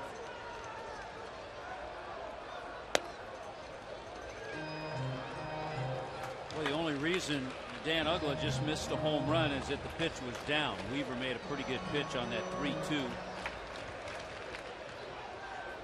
Dan Uggla sending Juan Pierre to the warning track.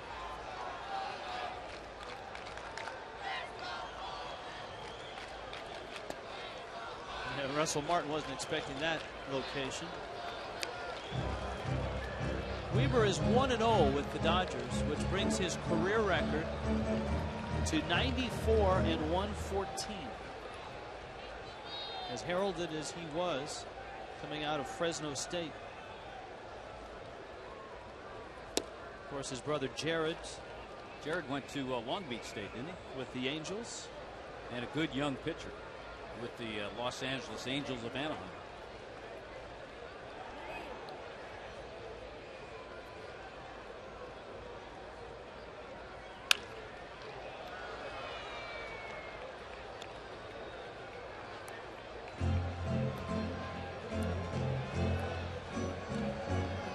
Chris Volstad at 89 pitches. If this inning progresses, his spot will come up. All the way to the screen. And Hermida works a walk. And here comes Cody. Yeah, we talk about this often. This is one of those in-game situations you don't have to worry about as an American League manager. Joe Torre had a lot of these. But Joe will be the first to tell you early on in his managerial career with the Mets, with Atlanta, with St. Louis, uh, he well knows the National League. In the American League, you, you don't have to think about that. You don't have to start worrying about that pitcher spot coming up.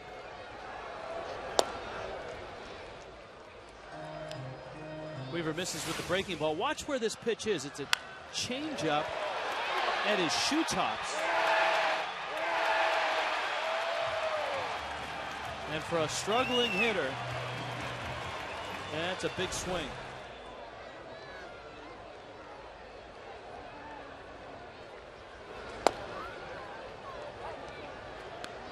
One and one. Well, you always like to see Cody get a, a hit or two because we all know what a, a streaky hitter he is. When he gets on one of those hot streaks, look out.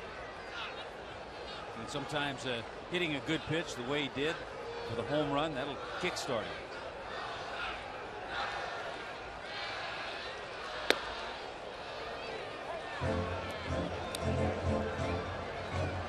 One and two.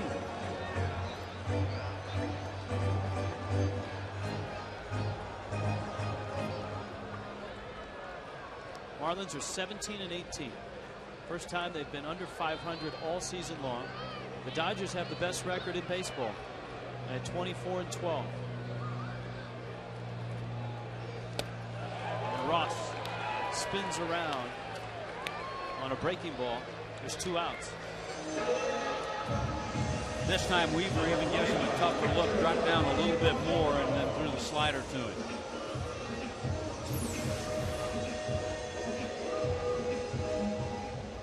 Kind of a backup slider, but a lot of that uh, success on that pitch was the delivery that Weaver has.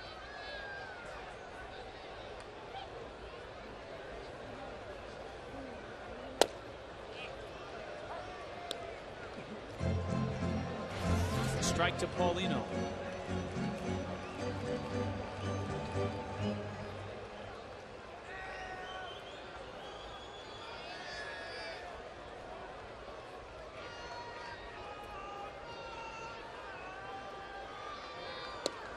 Boy, he dropped down a little more from third base on that one.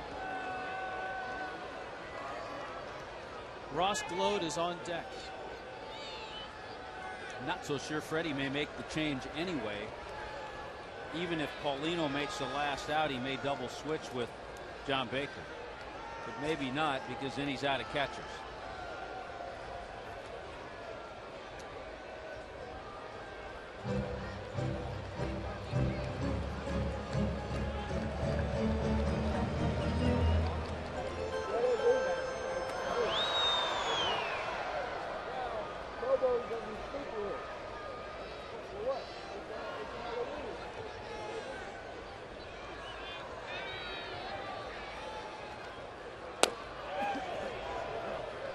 Thought he had a strike.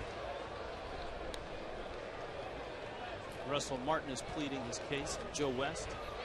Joe West ought to have one of those reality show Judge Joe type shows. He'd be good. Uh, he could open the show with a little song and dance. He's a country western singer.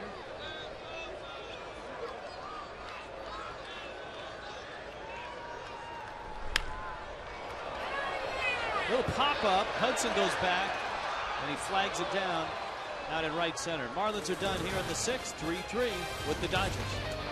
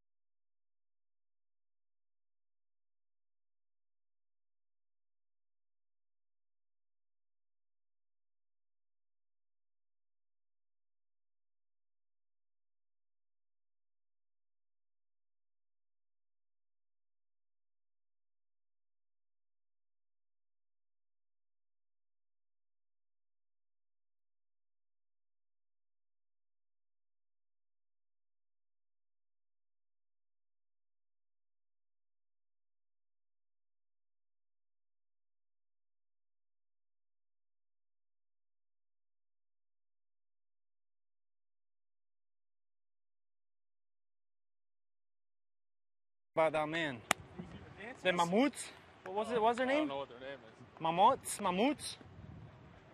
The guys are dance here. They cheer more the manatees than the mermaids. Unbelievable. See, even Jorge Cantu knows that nothing says baseball like fat men dancing.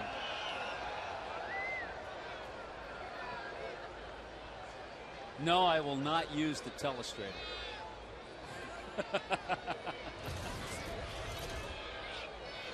The Marlins can uh, try to squeeze out another inning from Chris Volstad here. Let's see if he can get through the seventh. James Loney, Matt Kemp, and uh, Casey Blake. It was kind of an interesting scenario with we had the shot of Ross Gload in the on deck circle when Ronny Paulino was hitting. Maybe to plant a seed in, in Joe Torre, but at the same time, there was no one warming up in the bullpen. But I think Kiko Calero, who'd thrown earlier, he'd gotten up and thrown. It wouldn't have taken him long had Fredi decided to do that. And with Loney on base, Calero pops up and he's ready to go. Boy, and all of a sudden, six base hits just from last inning and this leadoff base hit, and Fredi just doesn't want it to go downhill from here, so he's going to go to that bullpen. Few more mistakes. Guys are picking up uh, Chris Volstad better, and he's left more pitches up in the zone. So Calero comes in, Volstad leaves here in the seventh in a 3-3 game. Here's our Marooney called to the bullpen.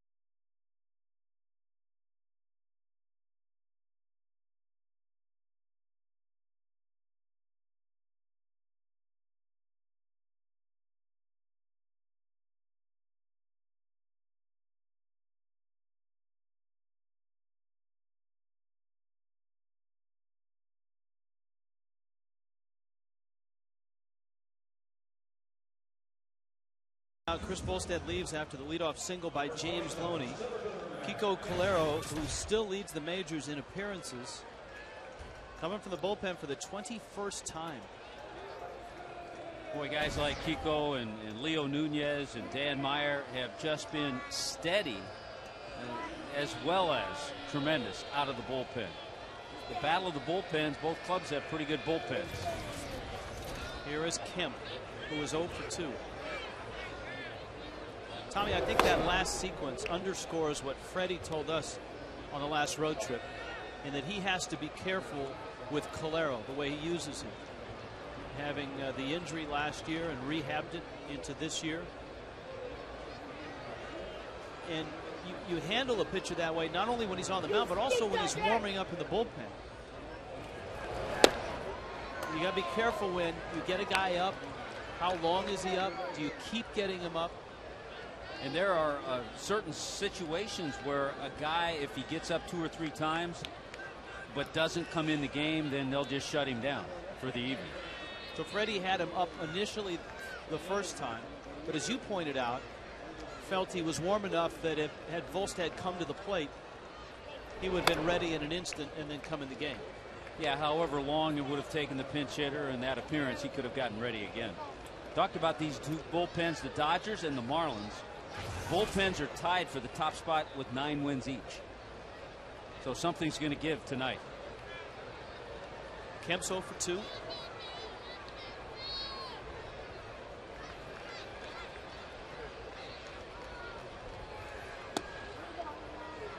takes outside, it's one and one. Pinto up in the pen.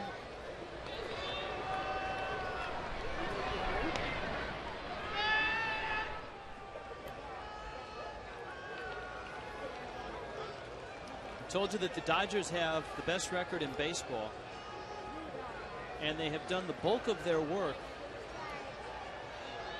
inside the National League West. The Dodgers at 24 and 12 are 20 and 8 against the West.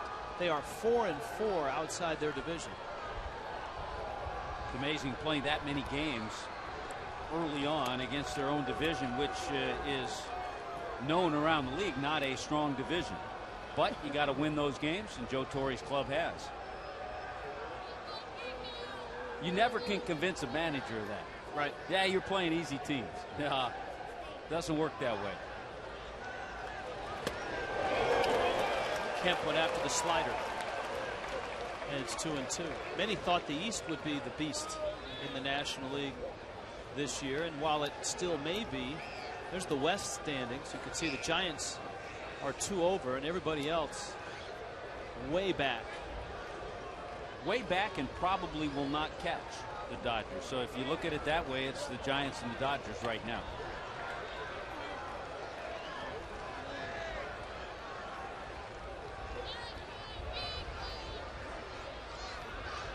Here's the 2 2. Remember, last year, Arizona had that fast start and then faded at the end. And everybody thought, there's no way they're going to catch the Diamondbacks. But the Dodgers are so talented, more talented than the Diamondbacks of last year. When Casey Blake is your number eight hitter and he's hit eight home runs in mid May, that's a pretty good lineup.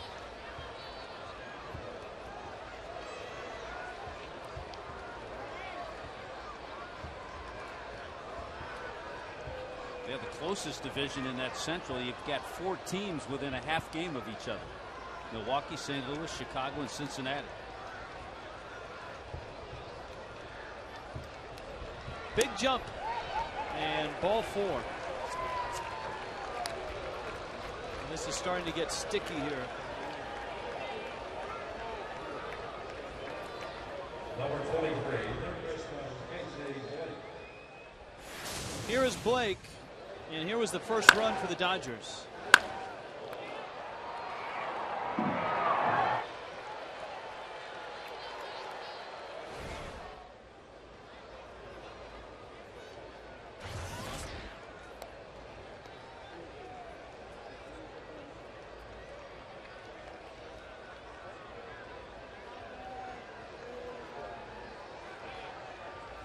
Blake steps out.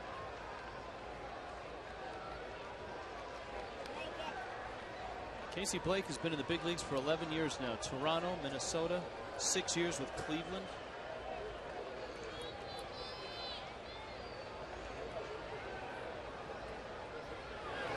Kind of an interesting career when you look at his path and how he he got to the major league. He he was put on waivers and claimed three different times, coming up in various organizations.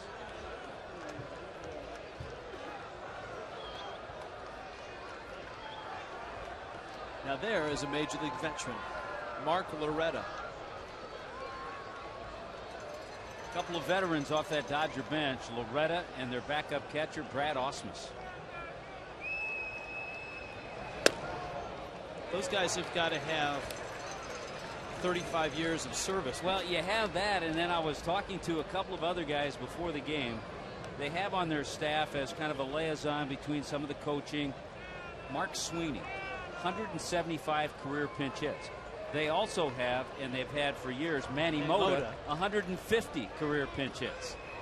So if you need to talk pinch hitting, you just go to those two guys.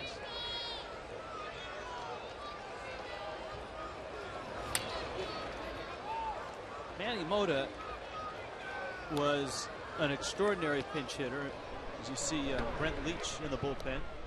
And he did it in an era similar to yours where they didn't have batting tunnels and they didn't have places where you could go warm up, stay loose, maybe get some live hitting during the game.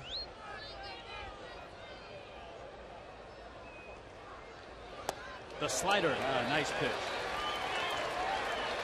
Yeah, Manny Mota in his 30th season as a coach for the Dodgers. Kiko Calero puts Casey Blake away. Look at that late breaking slider. He thinks it's in the strike zone. By the time he commits to swing, well out of the zone. A good pitch.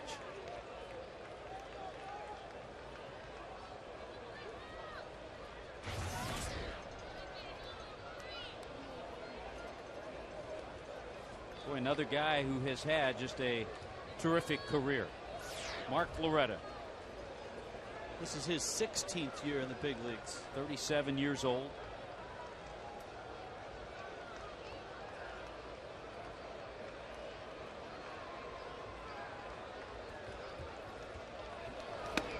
He had one of his best years just a, a few years ago in 2006 with Boston. He was an all-star for the Red Sox that year.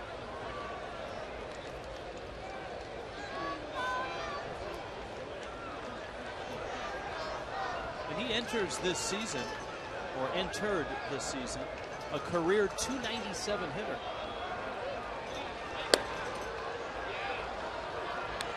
I tell you the number I saw that really stood out to me in, in looking at some of the ones on Loretta.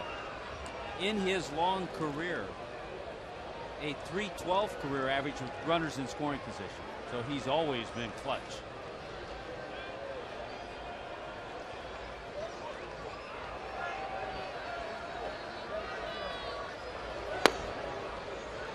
Trying to pick at that outside corner with the slider.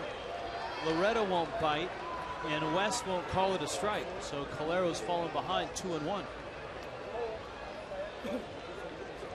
See if Loretta's patience gets him a fastball. Loney out there at second. Kemp is at first.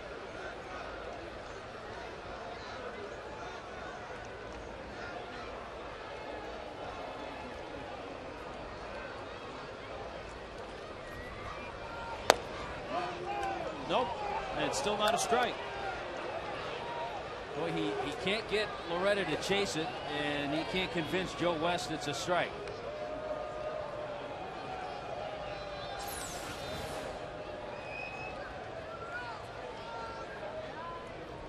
Just off the plate, very good patience by Loretta.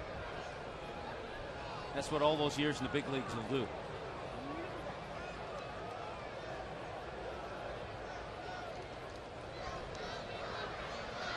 See if he throws him another slider. Nope, he missed with a fastball. There are times where Calero has better control of his slider than his fastball, and this might be one of those. Fredi comes out with the bags loaded. And one out. Pinto in the bullpen. Pierre is the hitter. And the Marlins are going to make a double switch. Let's see what Fredi does. Remember, Ronny Paulino made the last out of the inning. He could bring in John Baker.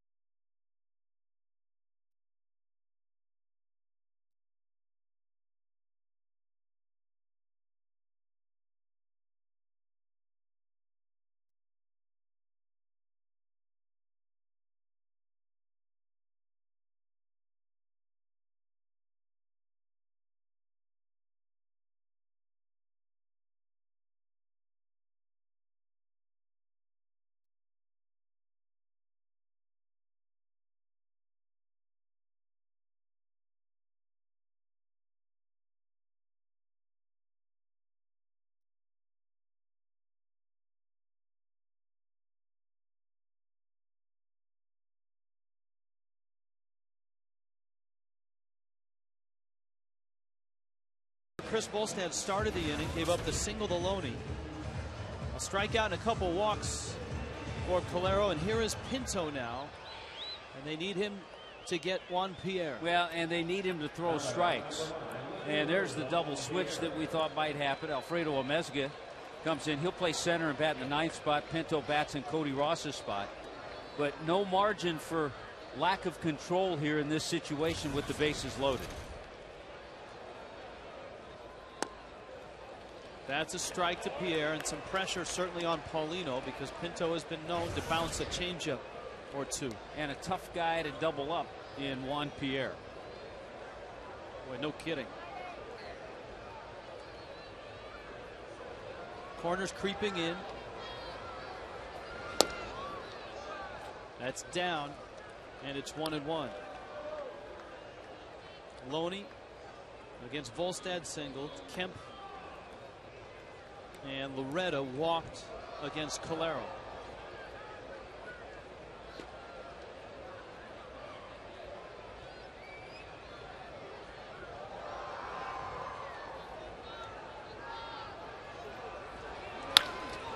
into right field. That's a base hit. Scoring is Loney. Kemp around third. He will score. And the Dodgers have two. Juan Pierre strikes in the seventh. Yeah, the unfortunate thing, the fourth run is charged to Chris Volstad. Kemp coming in to score, that's charged to Kiko Calero. But you know that Juan Pierre is going to make contact. Tough to strike out. And he finds that hole on the right side, and with good speed on the bases, Loney and Kemp both score.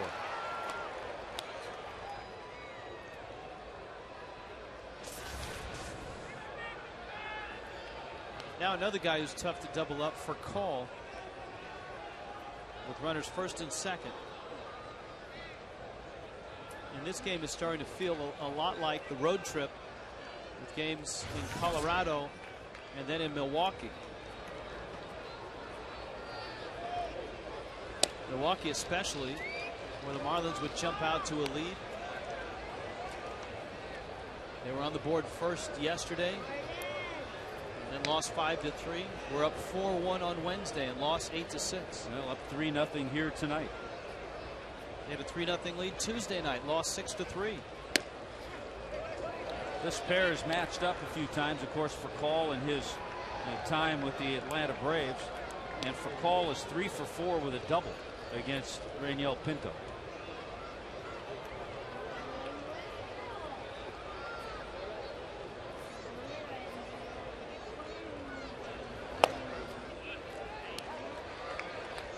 Two and one.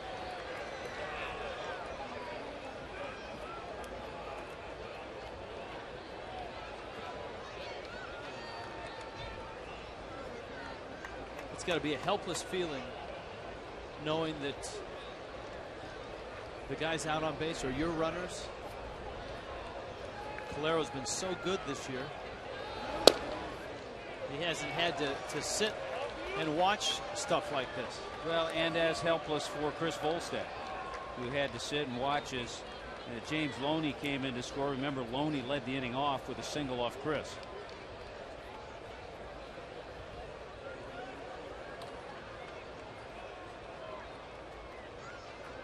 Two two.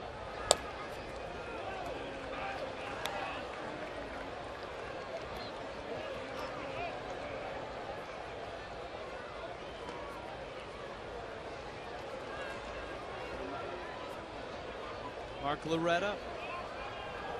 Juan Pierre.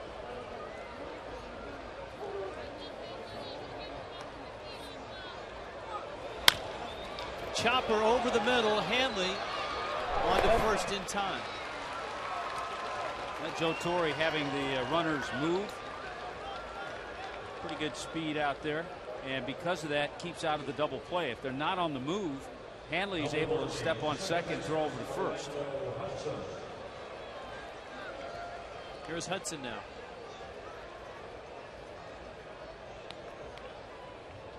Hudson's one for three.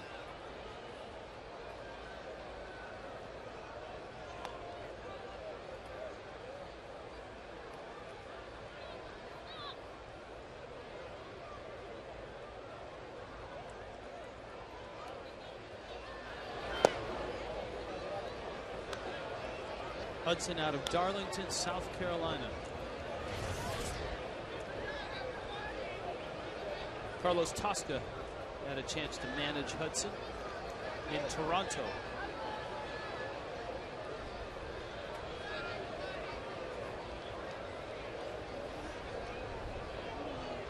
You know, 05 through 07, we talked about his three gold gloves.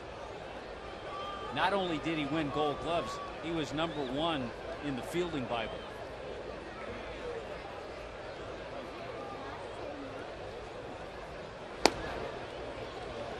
Had he not been hurt last year, he may have won both those awards instead of Brandon Phillips. Hard to take it away from Brandon Phillips, though. He was pretty good too last year.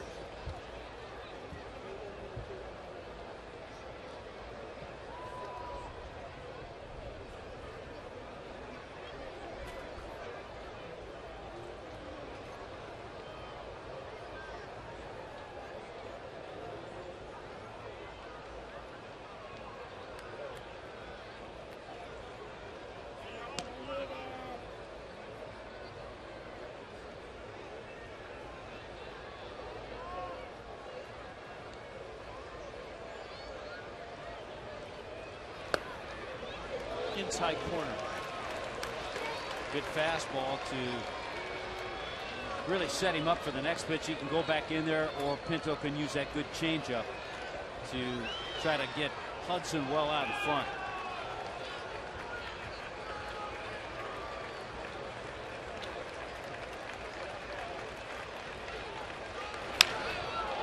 Center field. Remember, that's Amezaga now. And he makes the catch, but the damage is done. The Dodgers take the lead with two in the seventh.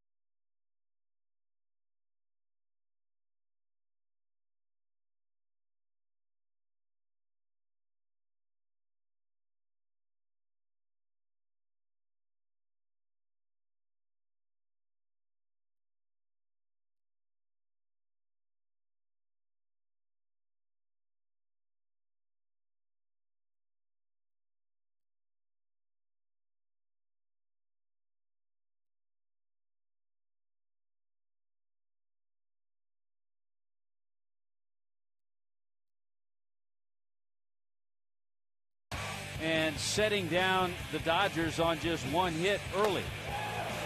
The problem, Eric Stults was doing the same thing until he got a changeup to Cody Ross, who took it to straightaway center field for a two-run shot.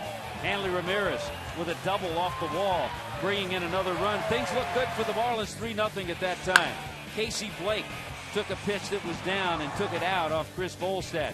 Xavier Paul, the pinch hitter, a line drive, his first career home run as a major leaguer, and Juan Pierre with a base hit to the right side, driving in two runs, and the Dodgers have a 5 3 lead. Let's go down below to Craig Minervini. Craig?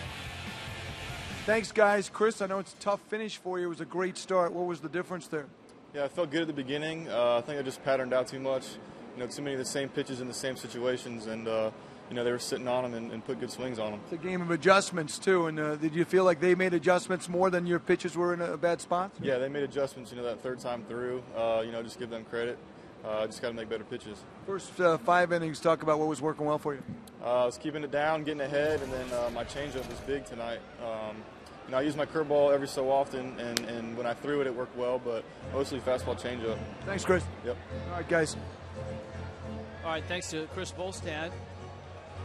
The Marlins have Alfredo Amezaga off that double switch. He's in the nine spot, so he leads it off with Bonifacio and Coghlan against the tall lefty coming out of the Dodger bullpen.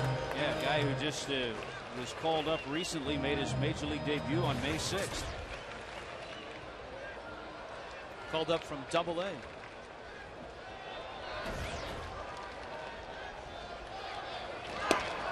Brent Leach throws strike one to.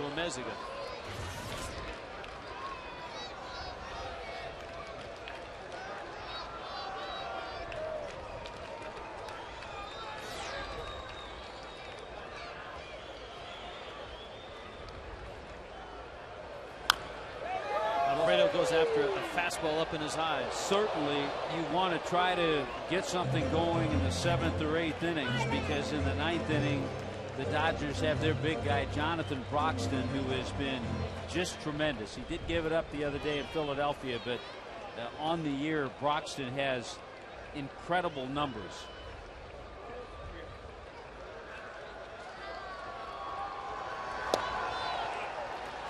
Amezaga goes down swinging.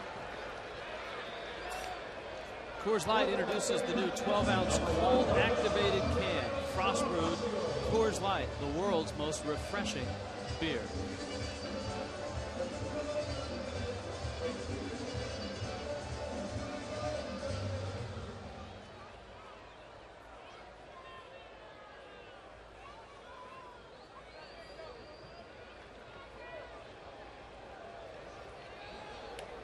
Bonifacio. Just trying to get on base. Get on base, bring that tying run to the plate. Leach, and, he's gone to the rosin bag a lot. The last few pitches that he's thrown, you can almost see the, the rosin come off the ball as it comes out of his hand like a, a puff of smoke. Yeah, he used to be a famous uh, Gaylord Perry. You see pitch. that? I mean, that, that, that should be illegal. Yeah, Gaylord Perry used to call it his puff ball. I mean, it's just like a big plume of smoke, and the ball comes out of it. Watch this.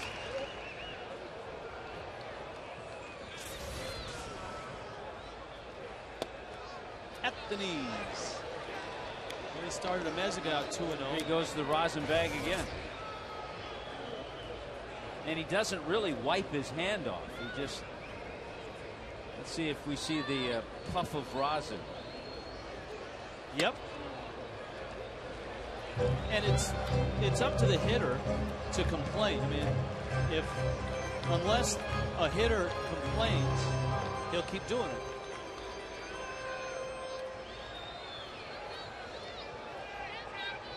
He's got rosin all over his head. Look at the back of his cap.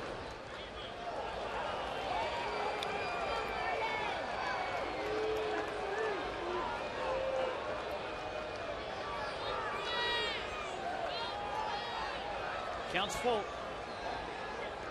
Out of Mississippi into Delta State.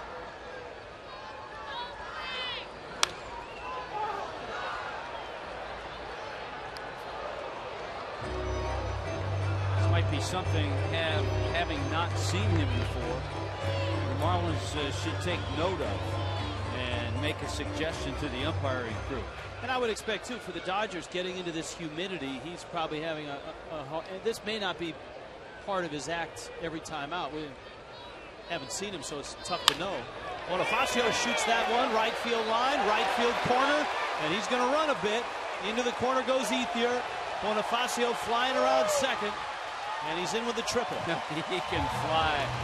Boy, as soon as he saw that ball go down the line, get into that corner, triple all the way for Bonifacio, his second three base hit this year. It is fun to watch him run.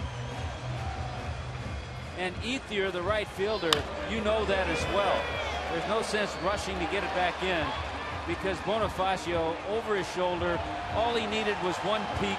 Helmet comes off, doesn't even need to slide. And another two hit night for Bonifacio. And it's Coghlan who's going to face this lefty. And I wouldn't be surprised if they've faced each other at some point in their collegiate careers.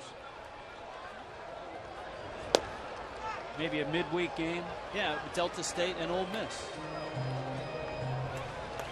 That was a called strike. It's 0 1.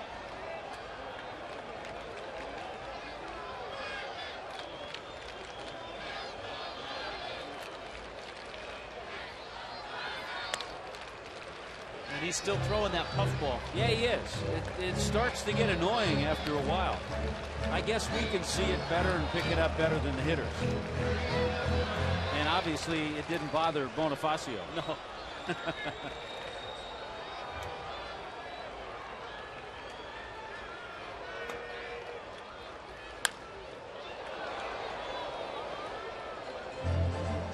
back of his hat. I mean, he goes to it every time. Every time. Hey, and it's not human. He pitches if he, he won't because they don't come back. But if the Dodgers came here in July and August.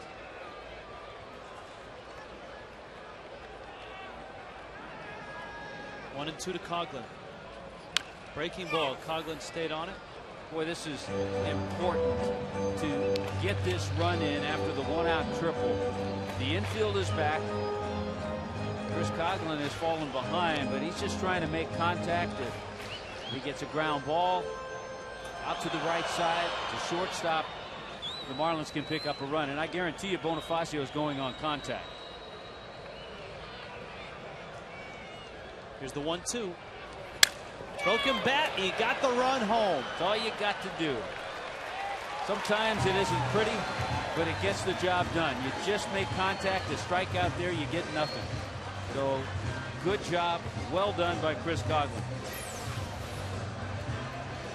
Because he got himself in a tough situation behind in the count.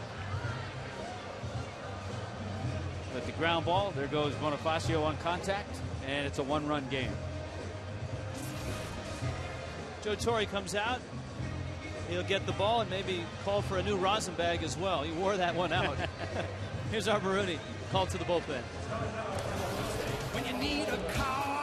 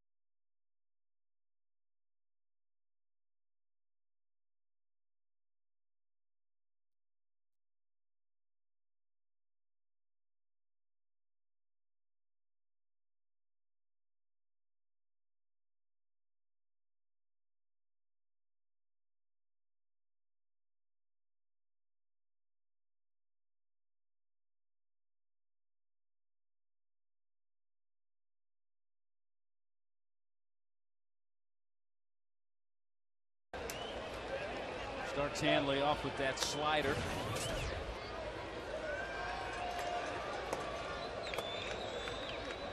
His numbers this year. He takes over for Brent Leach.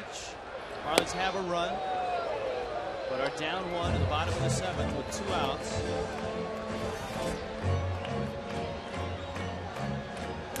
Belisario with one of those loose fluid motions. Good live fastball on that last pitch.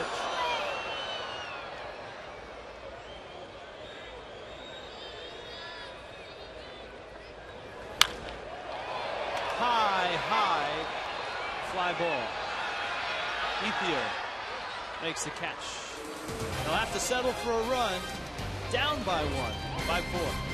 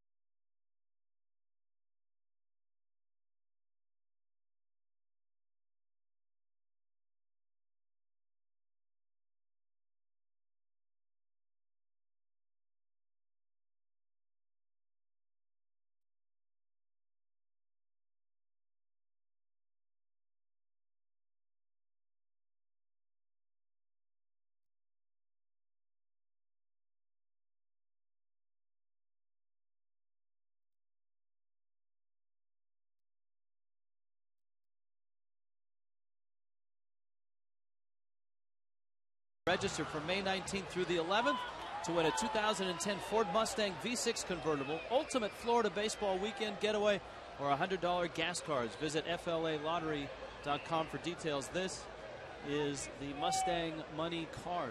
Well done. Well done, Rich. What if we win? Are we eligible to win? There, there's a, a list of stuff on the back. Friends and family are eligible to win. Usually we're not eligible. I think we are. We have no affiliation with uh, with the uh, Mustang Money folks. I I think let's uh, let's get Cassie to scratch off the deal. Yeah, go ahead, scratch it off. See what we win. Cassie, our floor director, right now, scratching feverishly to see if we win. What did we win? Well, you got to read the directions first.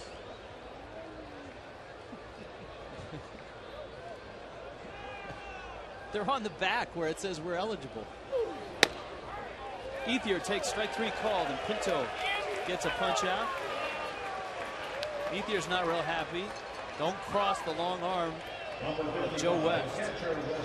Now, you don't want to get the Joe West scowl. No, because he's an old school umpire. He'll, he'll carry that with him for a while.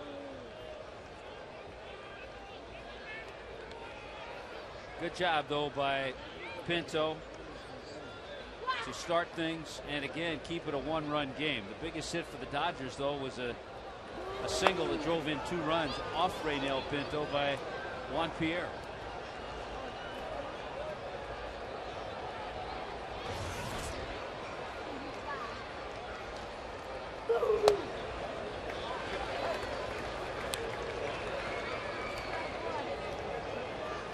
Russell Martin.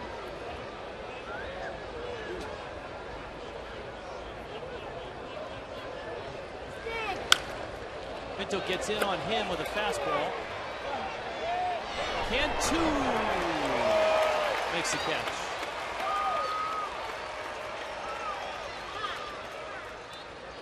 Time now for the stay in the game hold of the day brought to you by Just for Men Hair Color. Career holds, current Marlins, Pinto and Lindstrom atop the list. Just as middle relievers keep their team in the game, you two can stay in the game with Just for Men Hair Color. 20,039. The attendance tonight.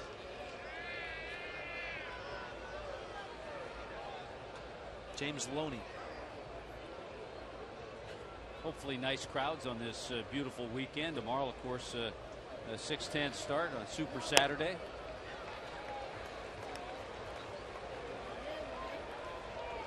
James Loney, a first round pick back in 2002.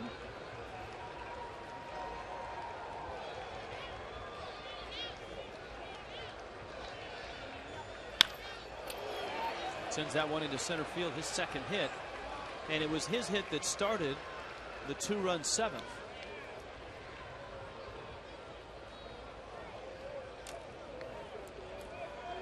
Yeah, Loney had been kind of quiet with the long ball, but just recently in the last few days hit a couple of home runs. Fredi's going to go to the bullpen with the right-hander Kemp due up. Leo Nunez into the eighth. Armoruni called to the bullpen.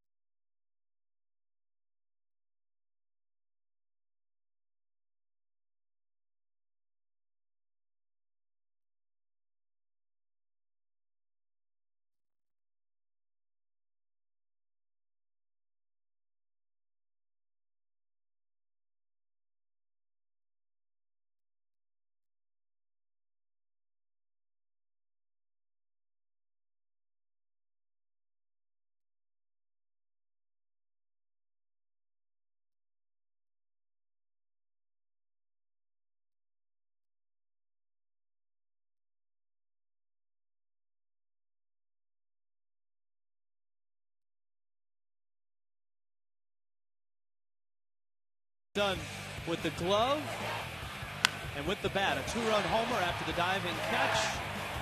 Check out the new R Performance vehicles at your local Jaguar dealer.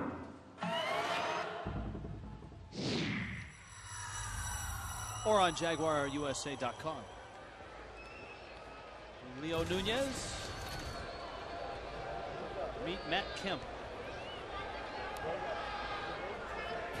Well, Fredi making the uh, chance to get the righty-righty with uh, Nunez facing Kemp, and again, every time we show you numbers, super numbers by Leo Nunez. Good fastball, slider, changeup. We've seen that all year. Righties are hitting just 080, two for 25 against Leo Nunez.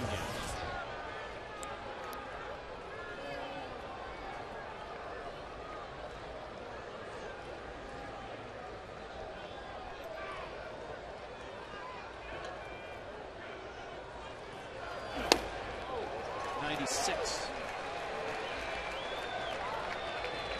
I think if you haven't seen Nunez before as a hitter, the surprising thing is you, you are fooled by his size and by the velocity of his fastball.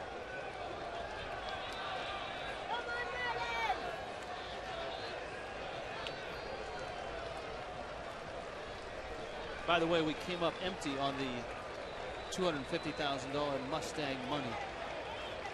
But we'll play again.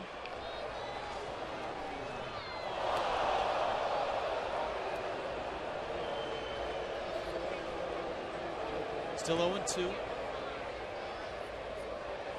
The Marlins really have to treat this game like a uh, almost like they're in front with their bullpen with Nunez pitching in the eighth and Matt Lindstrom needs some work so expect to see him in the ninth regardless of what the fish do in the bottom of the eighth. We haven't seen Matt Lindstrom since uh, Denver six days ago.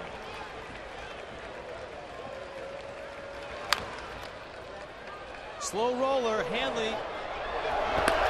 Nope.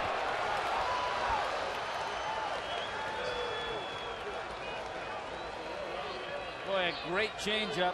He had Kemp fooled. The little tapper squibbed off the mound. And then the only play for Hanley was to barehand and throw hard. He did, and still could not get Kemp, who runs well.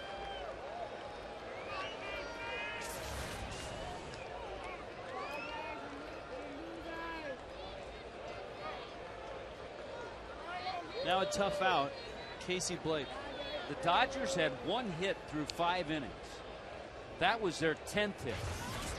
So they've had nine hits the last two two and two thirds innings. Blake has been a force in the eight spot tonight, a double and a homer.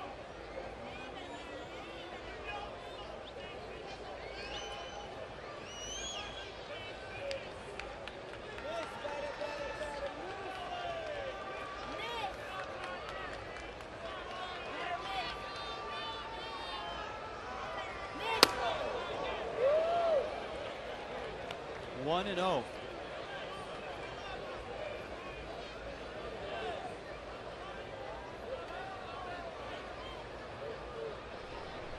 Corey Wade.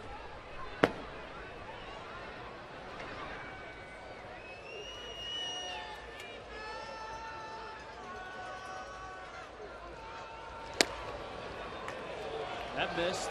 2 and oh. 0.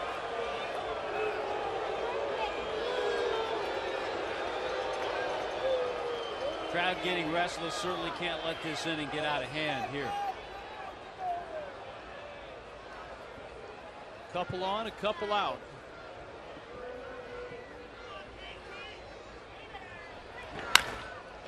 Chopper, Bonifacio, Uggla, and Leo Nunez gets out of trouble. Marlins need a run. One to the bottom of the eighth.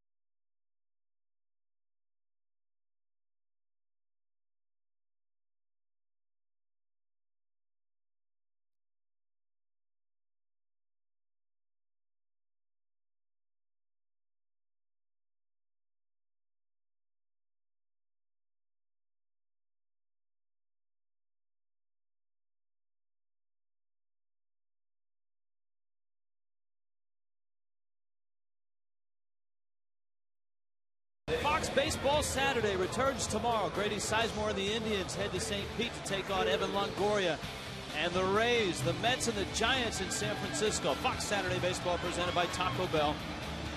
4 o'clock on Fox. Check your local listings for games in your area. 5 4 in this game, bottom of the eighth. Ronald Belisario stays in there. Well, he got uh, Hanley to end the seventh. And Joe Torre didn't have to make any moves, so he leaves his hard throwing right hander out there. Cantu, Uggla, Hermida. Good trio coming up here in the eighth inning to try to get something going. The pitcher spot is due up fourth.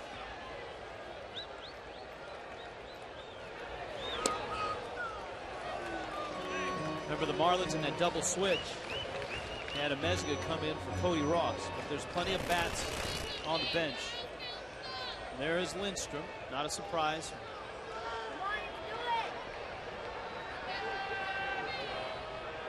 Belisario's fallen behind 2 0. And that's way up It's 3 0. I guess the question for Joe Torre now is can they get to Broxton?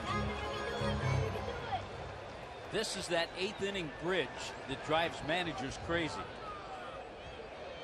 Don Mattingly in there as well, the hitting coach for the Dodgers. Look out.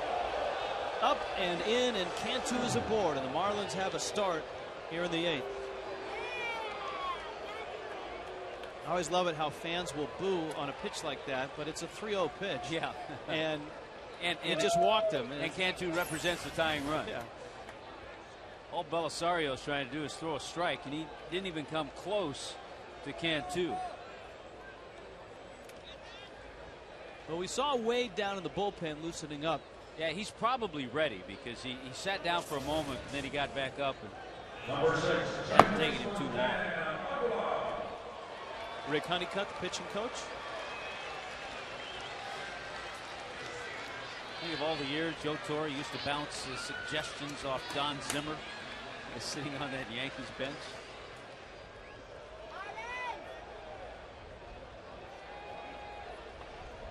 Here's Uggla. Dan tonight 0 for 3. Was flied out twice and bounced out.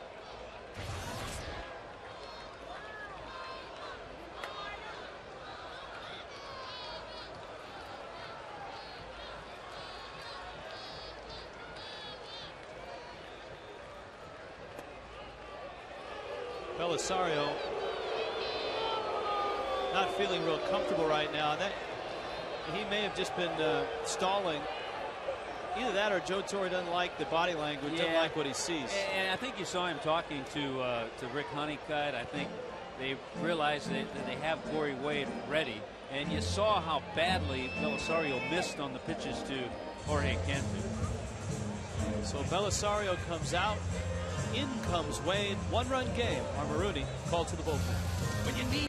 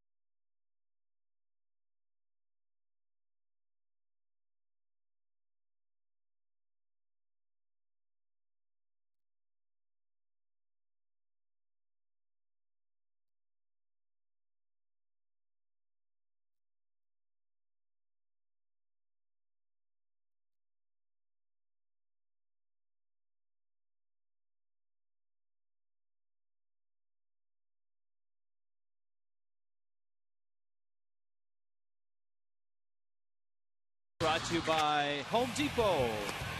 Juan Pierre has stolen a lot of bases, but not here tonight because Ronny Paulino threw him out. The Home Depot doing more on defense. That crowd starting to get a little active with uh, Corey Wade coming in. And Wade will face Dan Uggla with Jorge Cantu at first base. Good changeup, curveball, fastball from Corey Wade. And Joe Torre hoping more strikes than he saw from Ronald Belisario.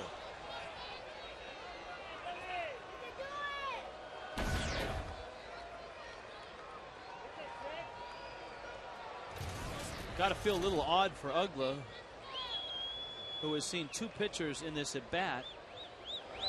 Though this is the first one to the plate. Yeah, there's that big curveball. Yeah, Wade spent a little time earlier this year on the disabled list with some uh, shoulder tendonitis.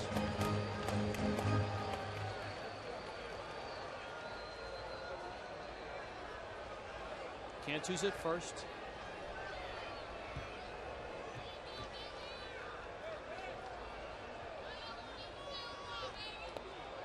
It hit him, and he pulled the bat back. And so Uggla is on his way down to first. Joe Torre is going to come out. If Uggla bunts at the ball and it hits him, it's a strike. And I, I thought it was just interesting, number one, that Dan Uggla was up there trying to sacrifice. He was. Oh, wait a minute. They're going to overrule this. The first base umpire, Ed Rapuano, has said, and he didn't bunt at the ball, he was pulling back. Ed Rapuano. No, Eddie he was not. Eddie Rapuano is a good umpire, but I think he missed that call. Said, Fredi saying it hit him, but Ed said, no, he bunted at the ball, but no, he didn't bunt at the ball. He clearly pulled the bat back as it caught him on the arm.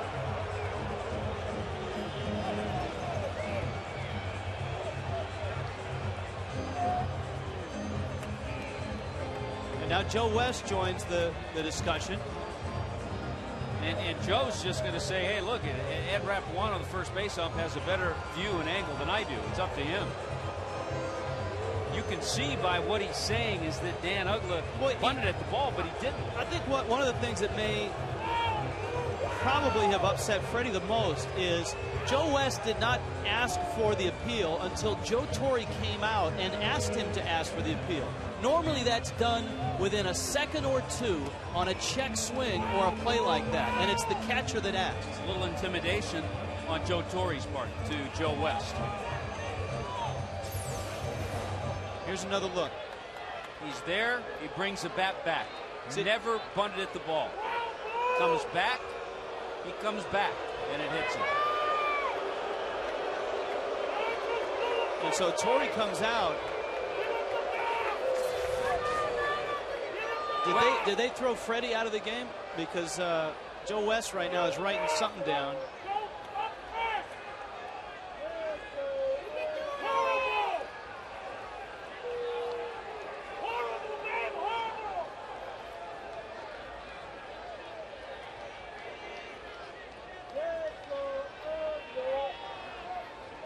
So Uggla's at the plate. The count's 0-2 now. Cantu's at first.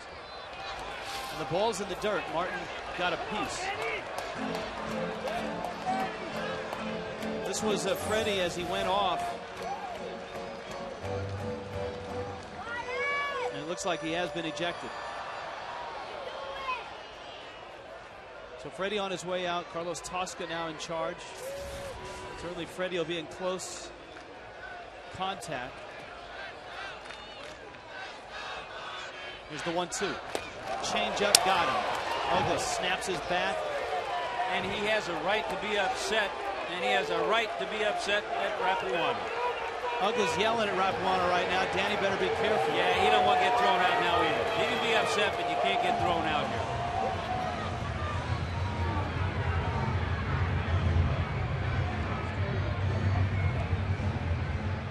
Yeah, I, the whole scenario, you're right. Usually the home plate umpire will immediately go to the first base umpire and ask. West made the call and didn't ask until Torre came out. Have you ever seen on a check swing where the home plate umpire calls it right away and the batter goes down to first, where a manager will come out and ask for an appeal and get that appeal? No.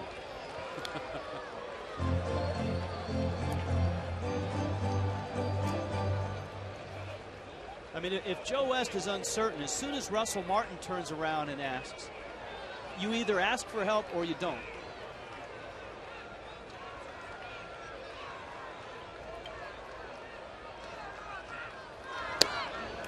On the other hand, good gamemanship on Joe Torre's part. Oh, absolutely. To go out and see if he would ask. Come on, Marty, you can do it, man. You can do it. Hermida's two for two.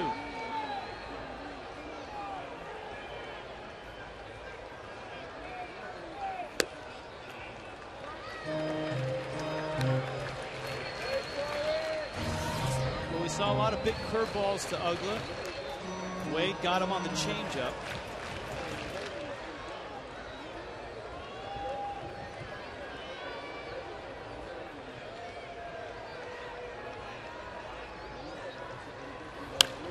Fastball, and it's fouled back, and the count now two and two. There's Wes Helms.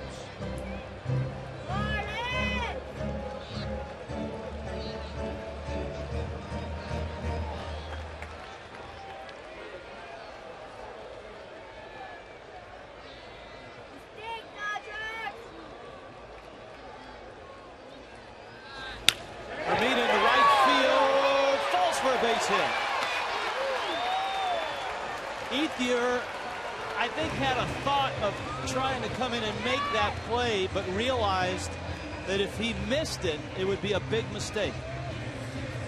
Yeah, you have to think about that as an outfielder. If you're going to dive, you have to think of the situation of the game.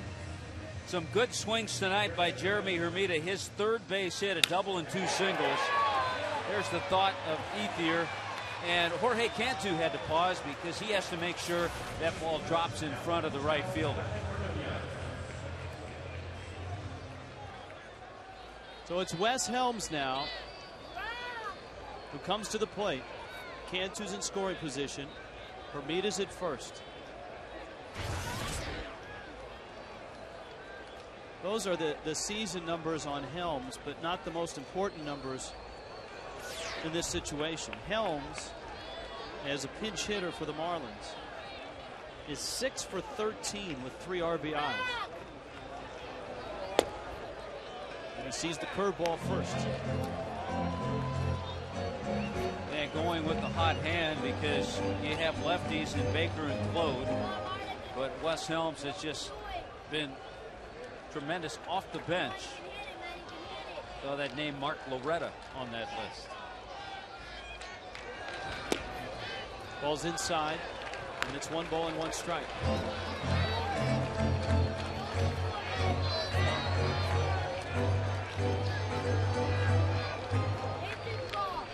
Fourth reliever to work for Joe Torre. Weaver, Leach, Belisario, and now Wade.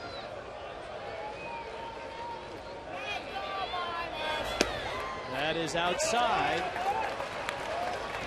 Well, he's seen this is this is what Wes does so well. He's seen all three pitches now. He's seen the curve, he's seen the fastball, that last pitch, the changeup. That's a great stat. Seventh inning or late. And Helms close to 350. That's in, and it's three and one.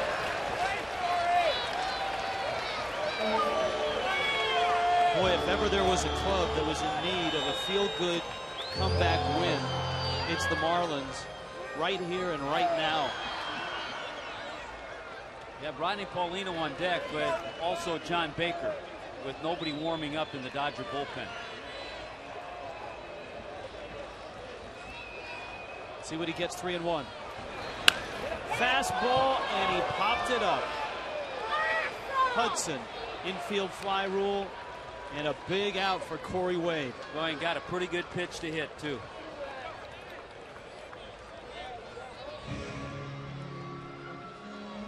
So out pops Baker.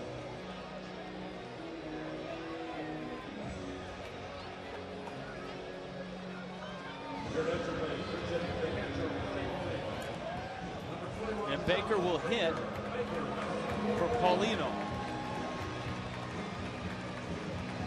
See Carlos Tosca in the background there, running the club in Fredi's absence. Though you can bet Freddie isn't far away.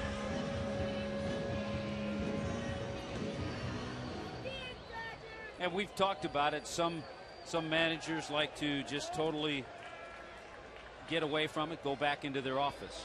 Uh, some like to have their hand in it still, go back in the runway, just out of sight.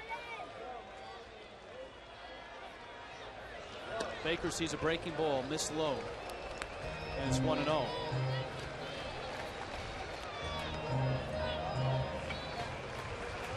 Good numbers there.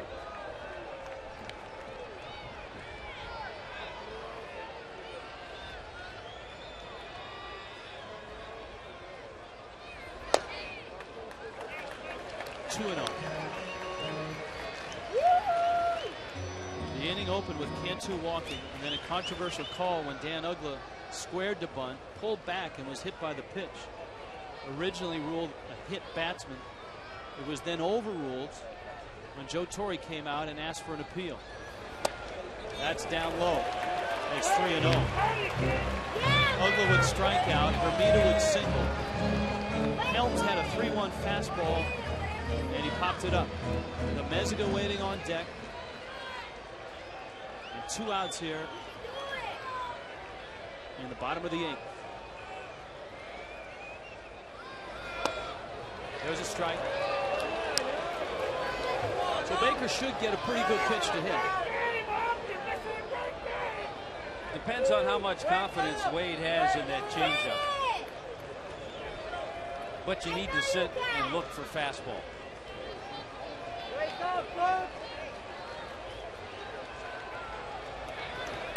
Fastball missed down low. They are loaded.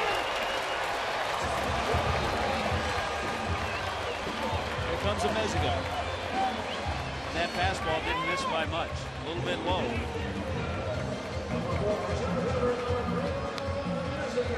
Now you get the uh, tying run at third and the potential go-ahead run at second. Certainly a smaller strike zone. But the exchange is a less patient hitter than Baker. Yeah, you would think Alfredo would be a high on base guy, very patient, but he's struck out 15 times and he's walked five. In a big spot here. Rick Honeycutt. Joe West out to break it up.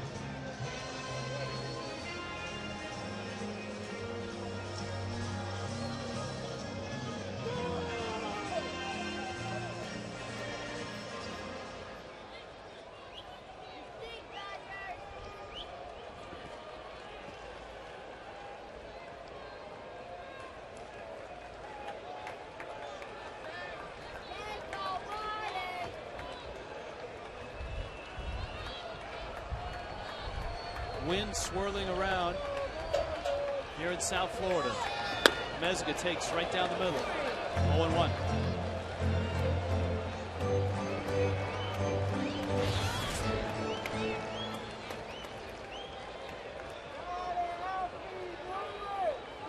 A better hitter from this side of the plate.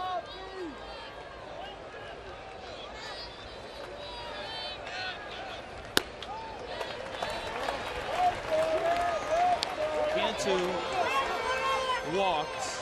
Hermida singled. Baker walked. And you're right, Rich, about the uh, Marlins looking and needing that feel-good type win. They'll take a bloop base hit right now off the bat of Alfredo Amezaga.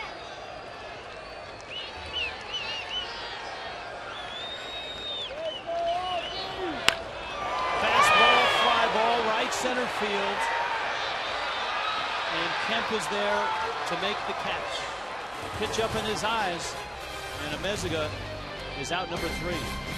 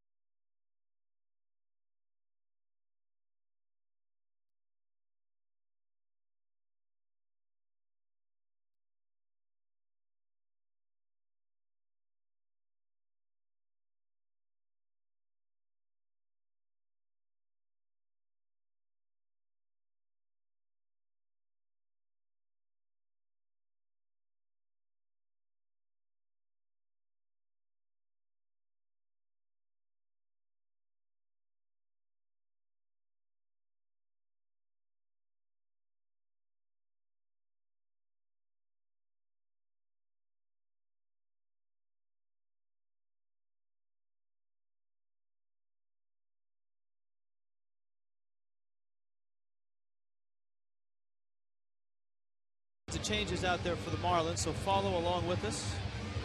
John Baker stays in the game. He kind of has to. He's the only other catcher that the Marlins have. Bonifacio flips over to second base. Helms stays in the game, and he's at third base.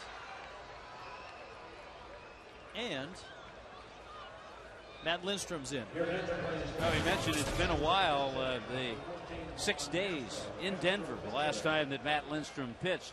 We thought that Fredi was going to get uh, Lindstrom in a game in Milwaukee yesterday. It didn't work out that way, so here he is tonight to work this ninth inning and keep the uh, game a 5 4 game.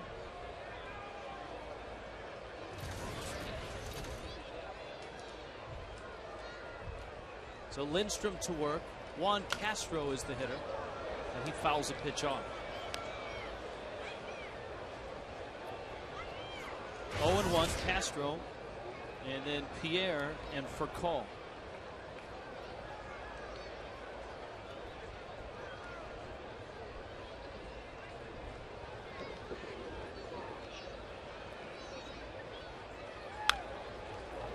That one's fouled back. It's 0 2.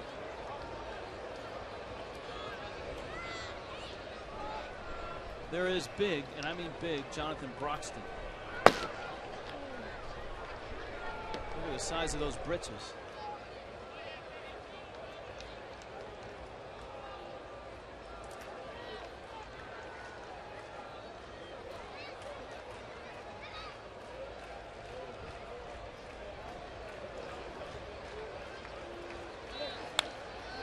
Rich, I'm wondering if Dan Uggla was okay.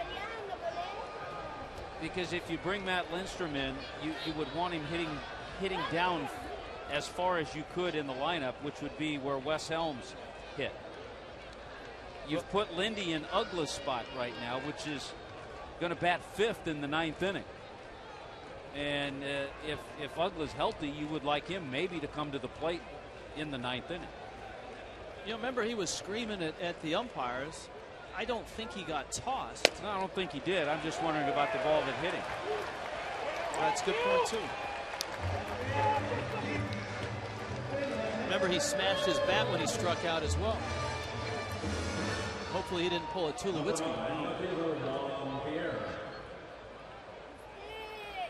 A good start by Lindstrom to get the pinch hitter. There's the strike three.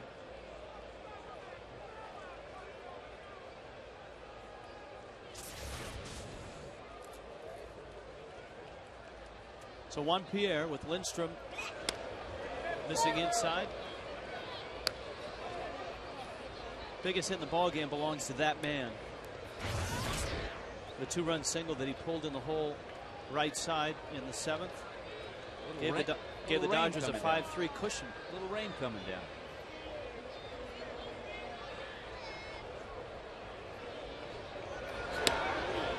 That's all right. Pierre's right at home in this. I mean, he grew up in Louisiana. He lives here in South Florida. Played here.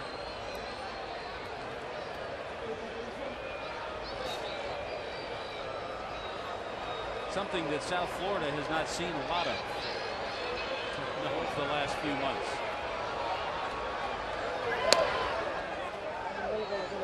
Lindstrom misses low and inside.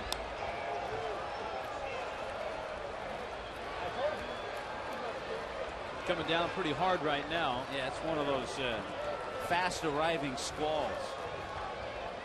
To put the umpires in a delicate position here. Lindstrom throws a strike because obviously you want to get the game in, but if the infield gets too wet, you also want to get the tarp on it in time so that you could finish. And right now, I, usually you can see the ground crew down by the tarp. I don't see them, so maybe the radar indicates that this is passing and not going to be long, but it's coming down hard now. This can't be a comfortable at bat for Pierre.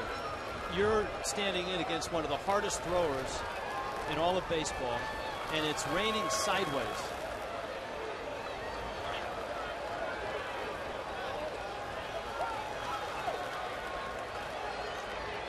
Three two. And Pierre walks.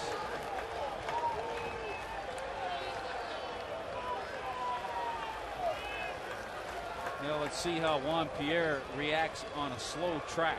Well, Joe West may right, not have a chance. Joe West right now is motioning for the grounds crew to come on out and bring the tarp with him.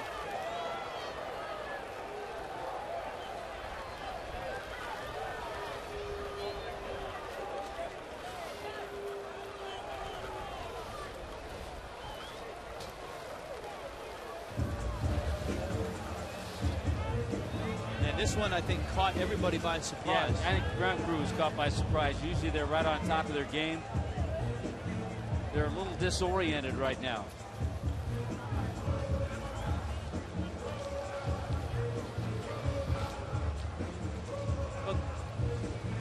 You know, the rain is, is letting up right now, and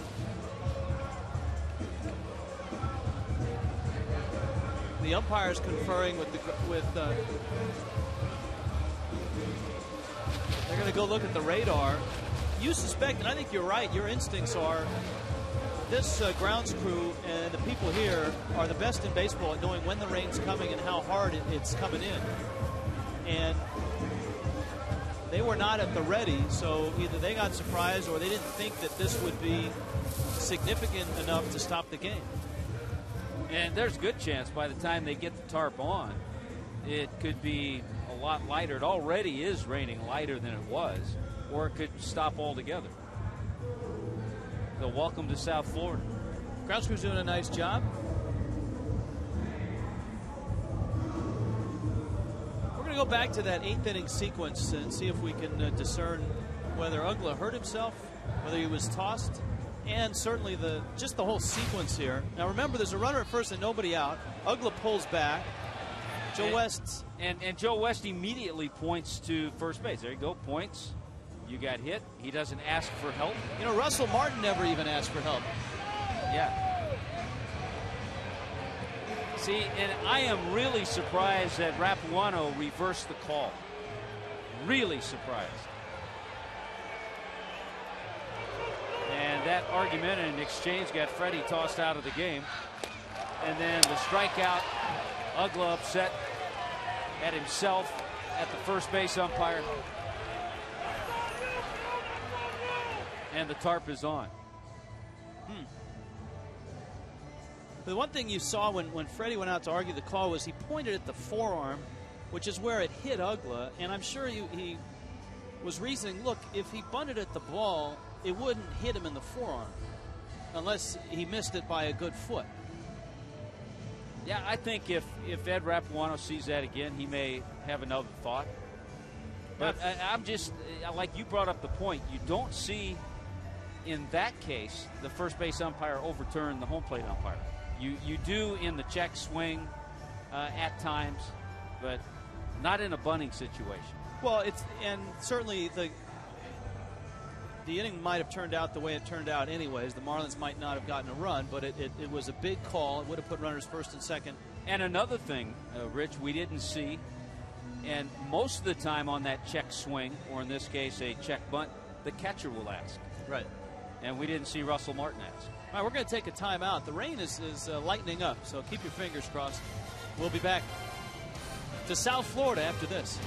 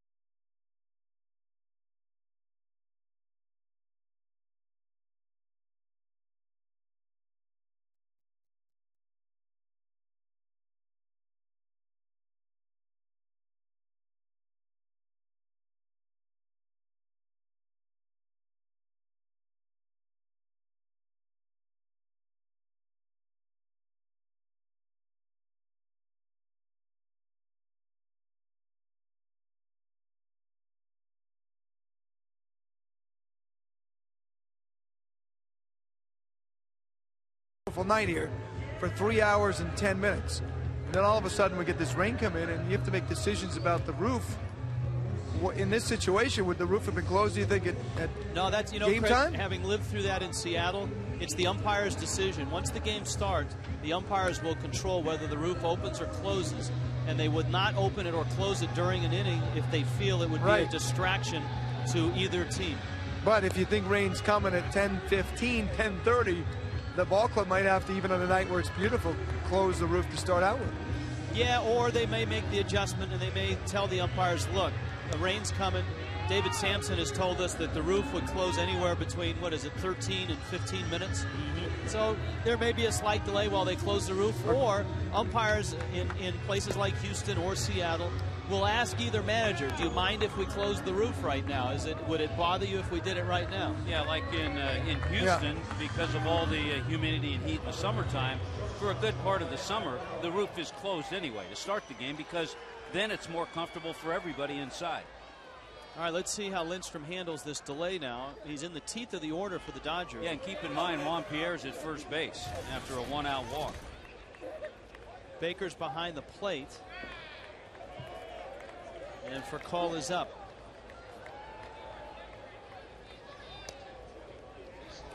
Boy, if, if Juan Pierre can hit over 300 and get on base at, say, a 350 or a 360 clip, what a dynamic combination with Furcal in the two spot. This will bring back uh, the Dodgers of old, back in Maury Wills' day.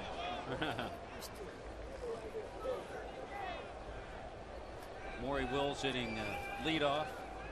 Jim Gilliam hitting second. Where did Tommy Davis hit in the lineup in the 60s? Third or fourth? They had Willie Davis up there too, who could fly.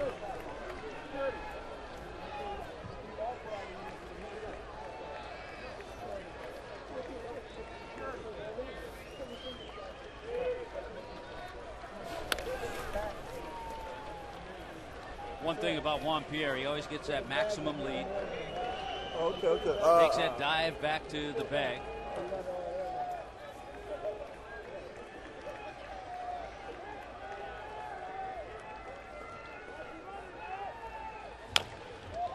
Chopper. Cantu, that's a fair ball still.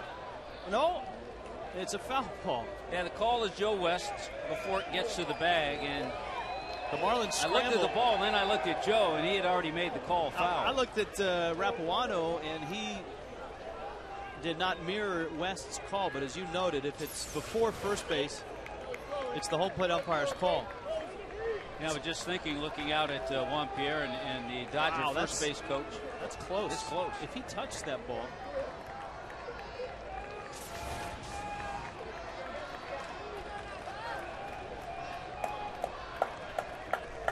Pierre away from first. 0-2 coming. Center field. Amezaga there.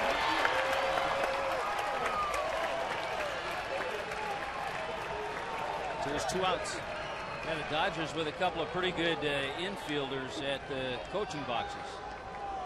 Mariano Duncan at first, and Larry Bowa, the third base coach. There is Duncan. Yeah, now you mentioned Rich Broxton. Jonathan Broxton had gotten up and started to throw. There's Larry Bowa. And Broxton up again. I don't think it'll affect him too much. Just give him a little extra time.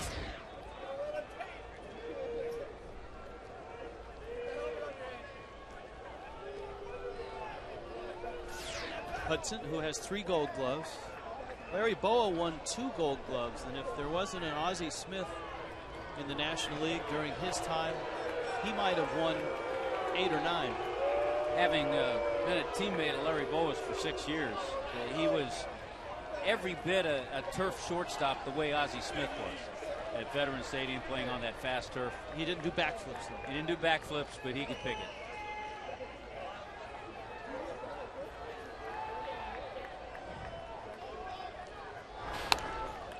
Got a feeling Juan Pierre's not going to waste much time to try to steal unless the track is too slow for him out there.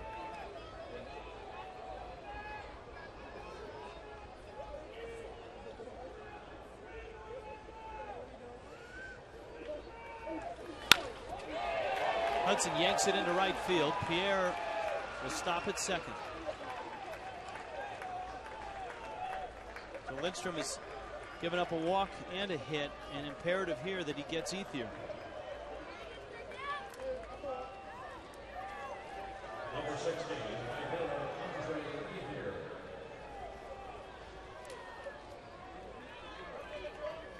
Dodgers with their 11th base hit.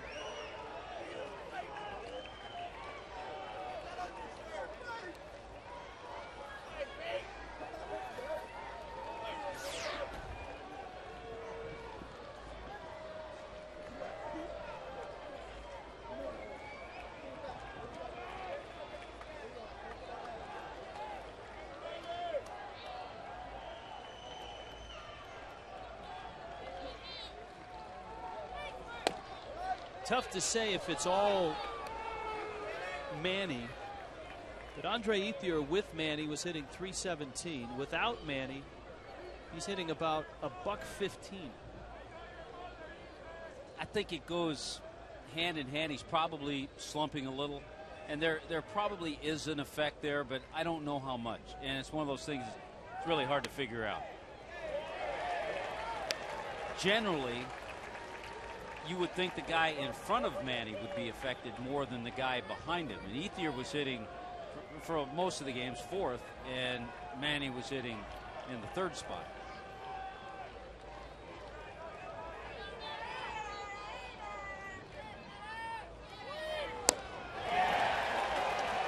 Good pitch. Yeah, it looked like the uh, splitter. See if the bottom falls out of this one. There goes. That splitter's about 85, 86 miles an hour, and the fastball's about 10 miles an hour faster.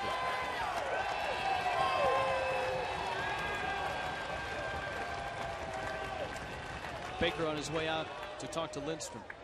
Marlins will have the top of their order up to start the bottom of the ninth. And they'll face that man, six foot four, about 295. And that is Jonathan Broxton.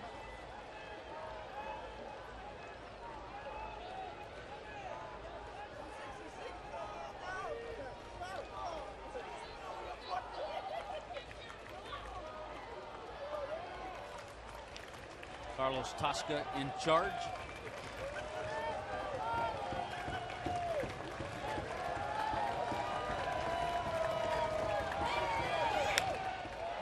Soft little looper, center field, gonna fall, base hit.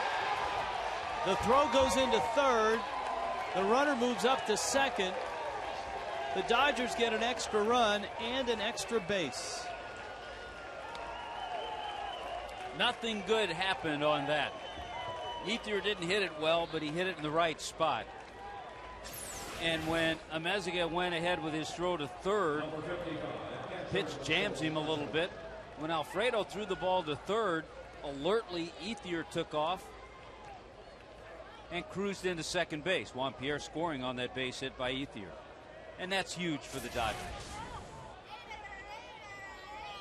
Russell Martin.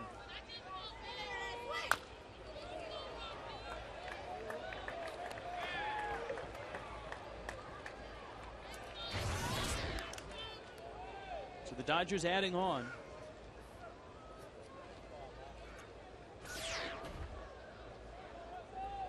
Something the Marlins have had trouble doing. You go back to that series in Milwaukee, got leads in every game, had a 3 0 lead here tonight. And they've just had trouble adding on.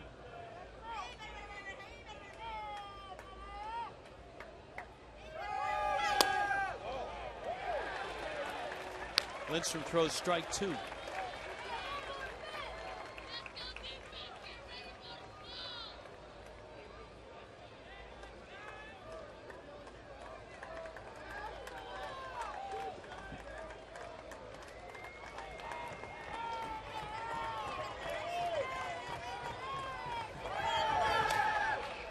Splitter in the dirt, and Baker knocks it down.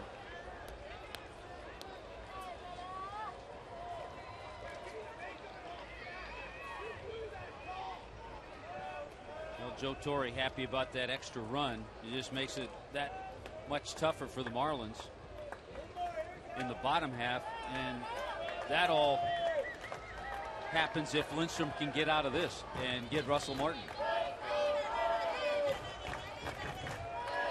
One, two. Martin stays alive.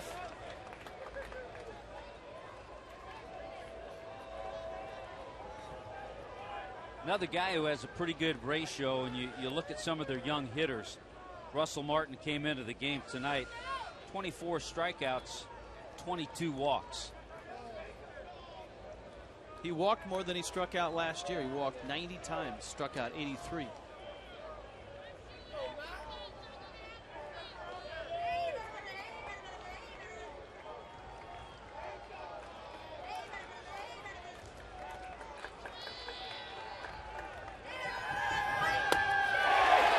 Got him on a high fastball, but the Dodgers add a run. In a rain delayed ninth, it's now a two run LA lead.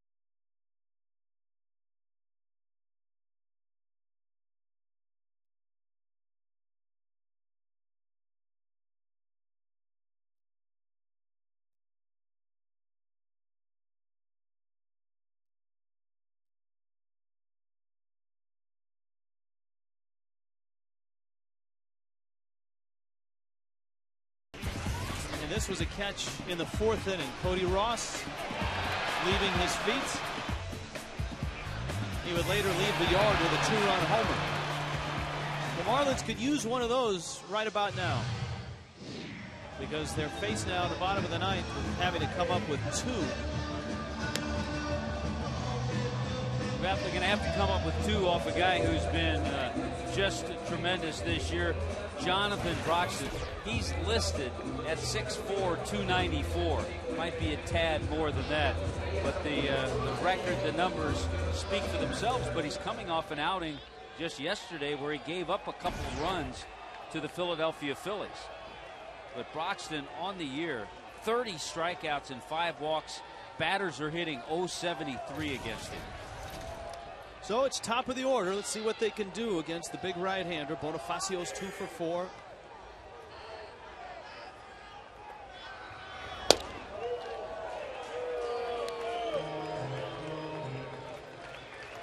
He's got that heavy sinking type fastball.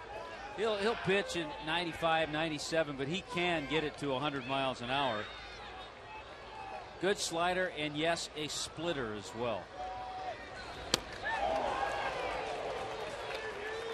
And with his kind of heat, he's probably going to stay up there. That's what happened to him yesterday. Even though the uh, Dodgers came back and won that game.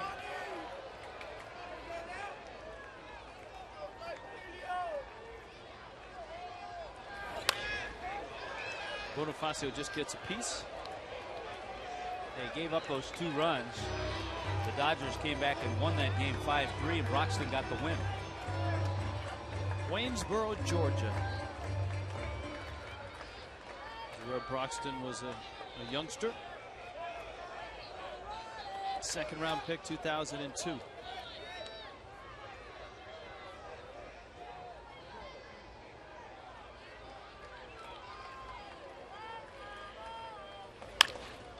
He bent one. Loney makes a great play. The flip out at first. Bonifacio throws his helmet.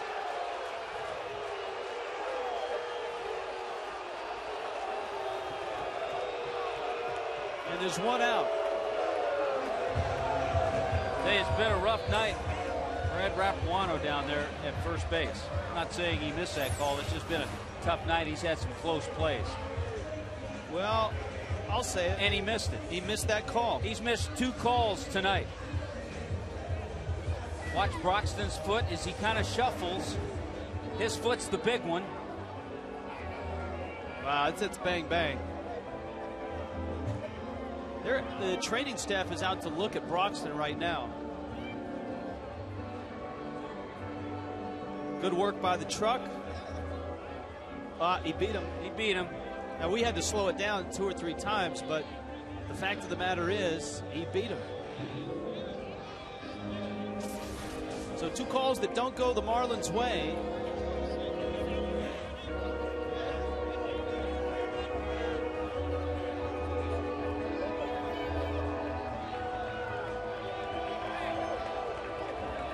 Well, you know what? To be quite honest, sometimes if it's an umpire or it's a game, frustration comes out. Sometimes you need that. And if you go in the clubhouse as a team and if, if guys are mad, you know what? You want them that way. You know, the umpires are coming over. Somebody threw something on the field after that call at first base. And I think the umpires have identified that fan. Oh, right there. There's, there's no excuse for that. That's, that's ridiculous. They should find that fan and throw him out and keep him out.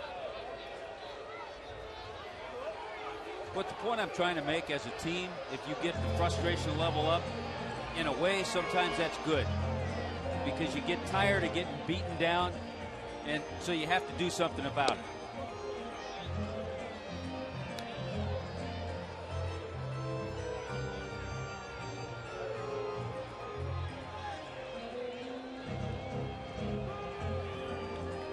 This is going to delay the game here while the umpires confer with the security. Umpires feel pretty confident they've got the guy.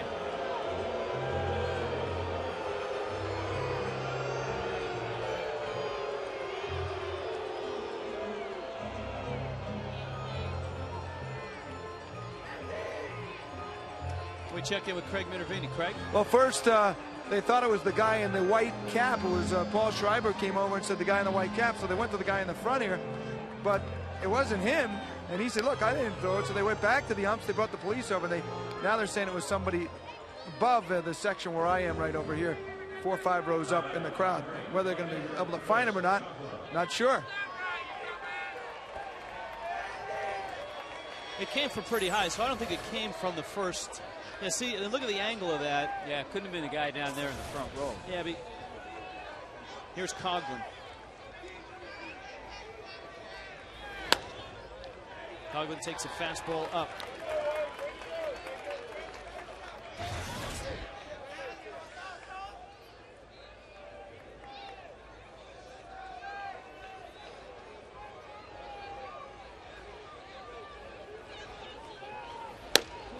Broxton misses outside, and it's 2 0. So the, the training staff of the Dodgers did come out and look at Broxton, and obviously with that play where he's reaching, when you're 6'4 and 290 pounds and you get rolling towards first,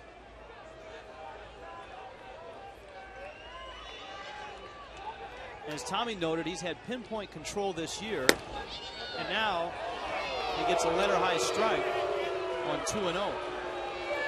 And he's been stingy, giving up just four hits in his 17 and the third innings.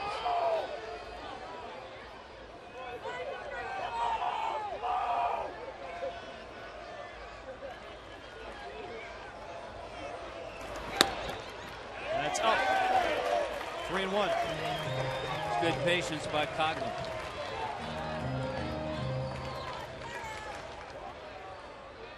Need a base runner with Hanley and Cantu to follow.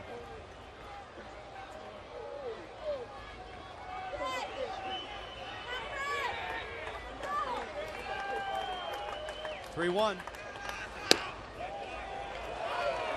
And it's three and two.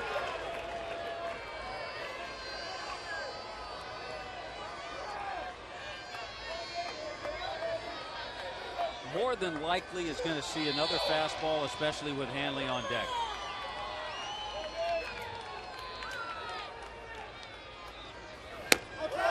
Works a walk.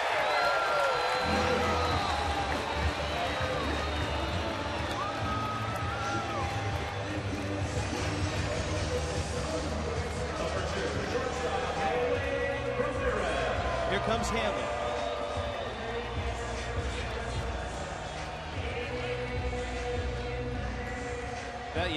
The guys coming up that you'd like to come up in this situation. Hanley now, Jorge Cantu on deck. Only the sixth walk all year. He has not allowed a home run all year. This is his 16th appearance.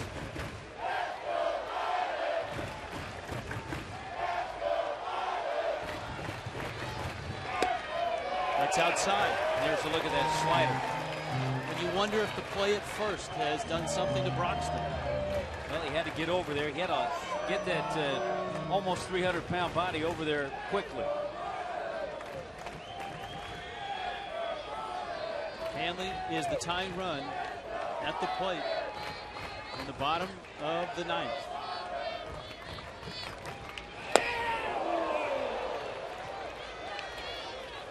Got the slider again.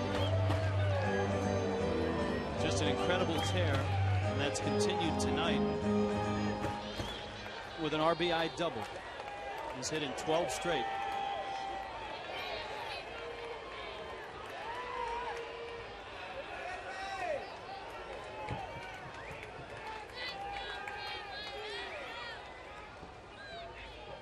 Martin sets up inside.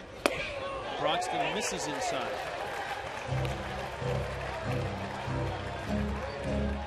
Comes back with his slider after missing inside with the fastball.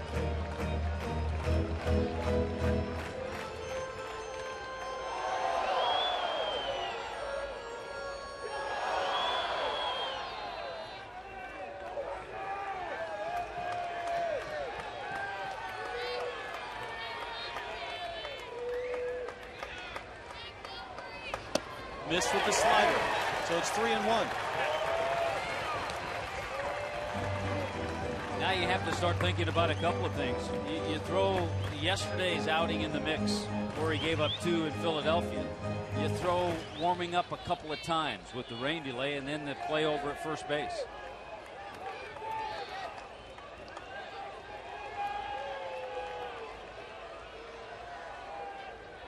Coghlan's at first.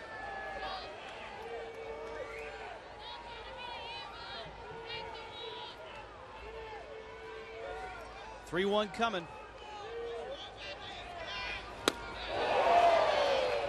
Heat against heat. He went back with the fastball and Hanley had a hard swing, just swung through it.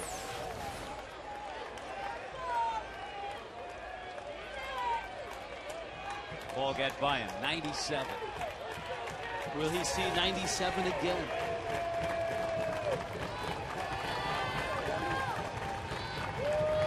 Here's the 3 2. Missed inside. Here comes Cantu.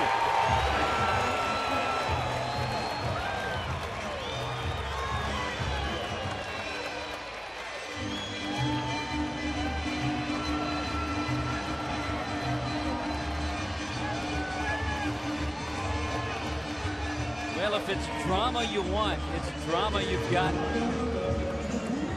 Rick Honeycutt out to talk to Jonathan Broxton, the Dodgers closer that has been uh, outstanding this year. An ERA of 1.59. A few things to remember here as well. You've got Cantu coming up. Uggla's spot is behind him, and Ugla was ejected. And the Marlins have Ross Gload at their disposal, so that's a good bat to have up next. Yeah, Ross Gload and Brett Carroll, the only two left on the Marlins bench.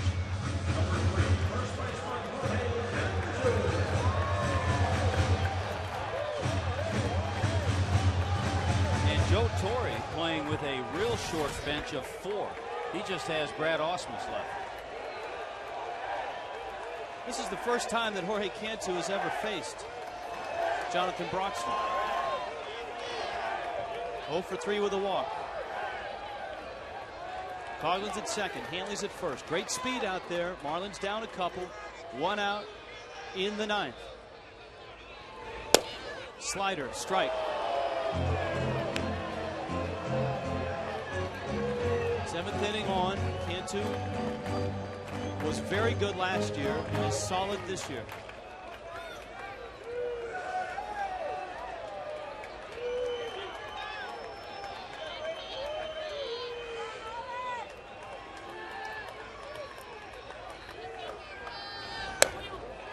More comfortable throwing the slide piece than his fastball. That might have been what Rick Honeycutt talked to him about. Jorge Cantu this year has had five games where he's had three or more RBIs. He'd like to make it six right here.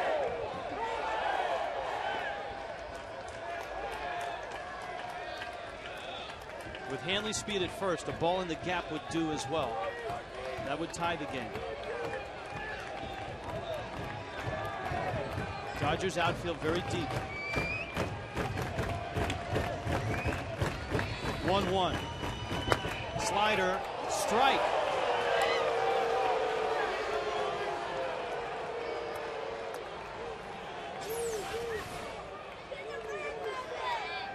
Slider backed up.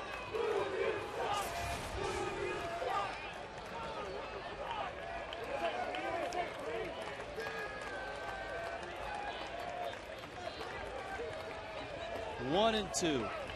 He has not seen the fastball yet. Looks like Martin may be calling for it here. Nope. Breaking ball, Check his swing. See now, right there was a little decoy on the part of Russell Martin because when a catcher shows up like he wants a pitch up, he's he's calling for a fastball. Now there may have been a mistake. He may have wanted the fastball and Broxton threw the slider. See, watch. He wants up. He wants a fastball. And then he set up low and It outside. even looked like he got fooled.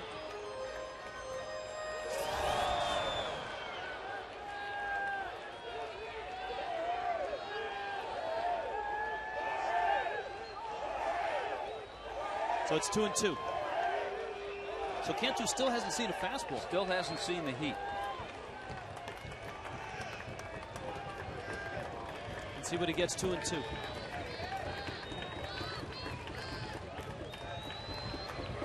Breaking ball.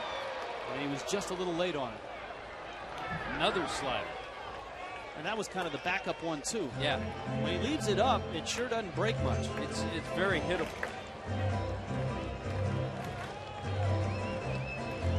Carlos Tosca running the club. Fredi Gonzalez and Dan Uggla have been ejected. Broxton, by the way, threw 27 pitches in Philadelphia yesterday. He's over 20. He's thrown 21 so far here tonight. Another 2-2 coming to Cantu, who still hasn't seen a fastball.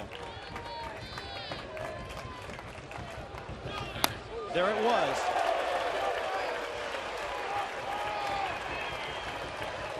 Boy, see it, he's missed badly with it. There's a good chance you can't look slider, but there's a good chance 3-2 he's going to go back to that slider. Because it appears he has more command with that pitch. Coghlan is at second. Hanley is at first. Marlins down a couple.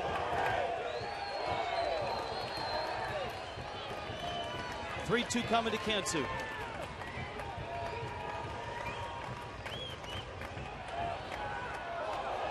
Broxton trying to get Coghlan out at second.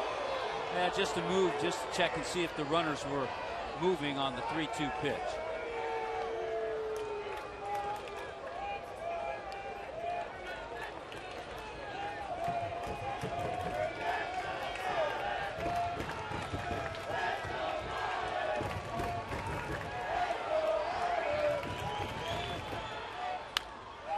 Goes back to the slider. That's the pitch that he has more command with now. At what point, if you can't do, it do you sit on one? You, you still can't. The, the, the key, though, is that he's seeing it now. Right. And he's picking it up better. But if you sit on the slider and he goes goes back to the fastball, you're dead.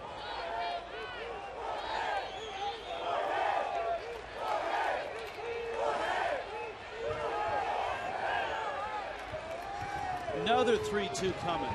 This is a great battle. Fastball, ground ball off of Broxton, who knocks it down and throws Cantu out. Oh, that's a great at bat. He got the fastball, had a good swing, and only because Broxton's 6'4, 300 pounds, somehow he got in the way and knocked it down. That ball had center field written all over it. It had one run coming in, and Hanley probably went to third because of the way the outfielders were playing so deep. Boy, that's just a good at bat.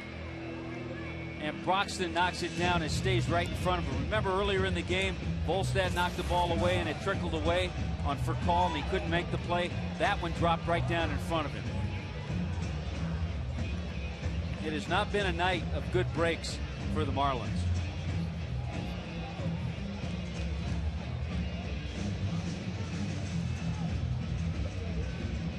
But the runners do move up. And so now a base hit could tie the game. Ross Gload with two outs.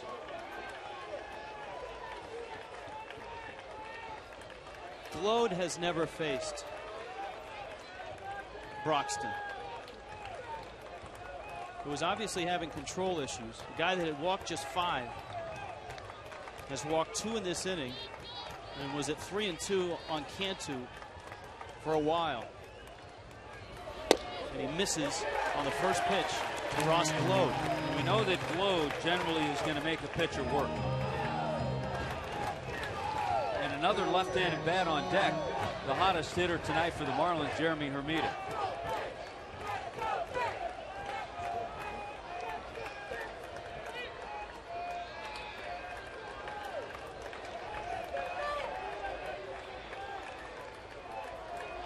One zero pitch at the corner, 97 miles an hour.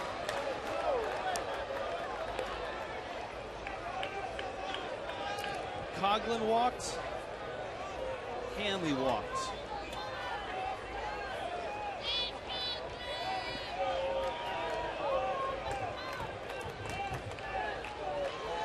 One one pitch.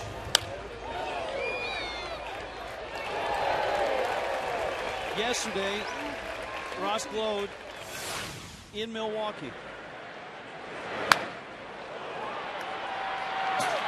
Hit an off-speed pitch and hit it out. Get it off that facing. I don't know that Hit he's a dot-com dart. I don't know that he's going to get an off-speed pitch. No, I don't think so. Actually, he's seen two fastballs now in a row.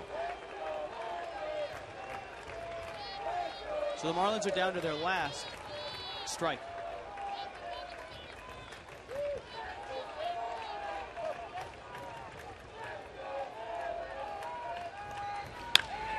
Throw it into right field. Ethier is over and there, and he makes the catch. And the night is done. Broxton labors through it and gets the save. A tough one to lose for the Marlins. The Dodgers win game one of this three game series. That's why they have the best record in baseball. The Dodgers are 25 and 12. Marlins Baseball Fox Sports Florida, brought to you by Geico. 15 minutes could save you 15% on car insurance. Visit us at geico.com or call 1 800 947 Auto. By Tobacco Free Florida for information. Visit us on the web at tobaccofreeflorida.com and by Headquarter Toyota, where you'll feel like you bought from the factory. Located conveniently off the Palmetto and 57th Avenue. Marlins Live is coming up. We'll get you locker room sound. We'll hear from Fredi. 6 4. Dodgers win it.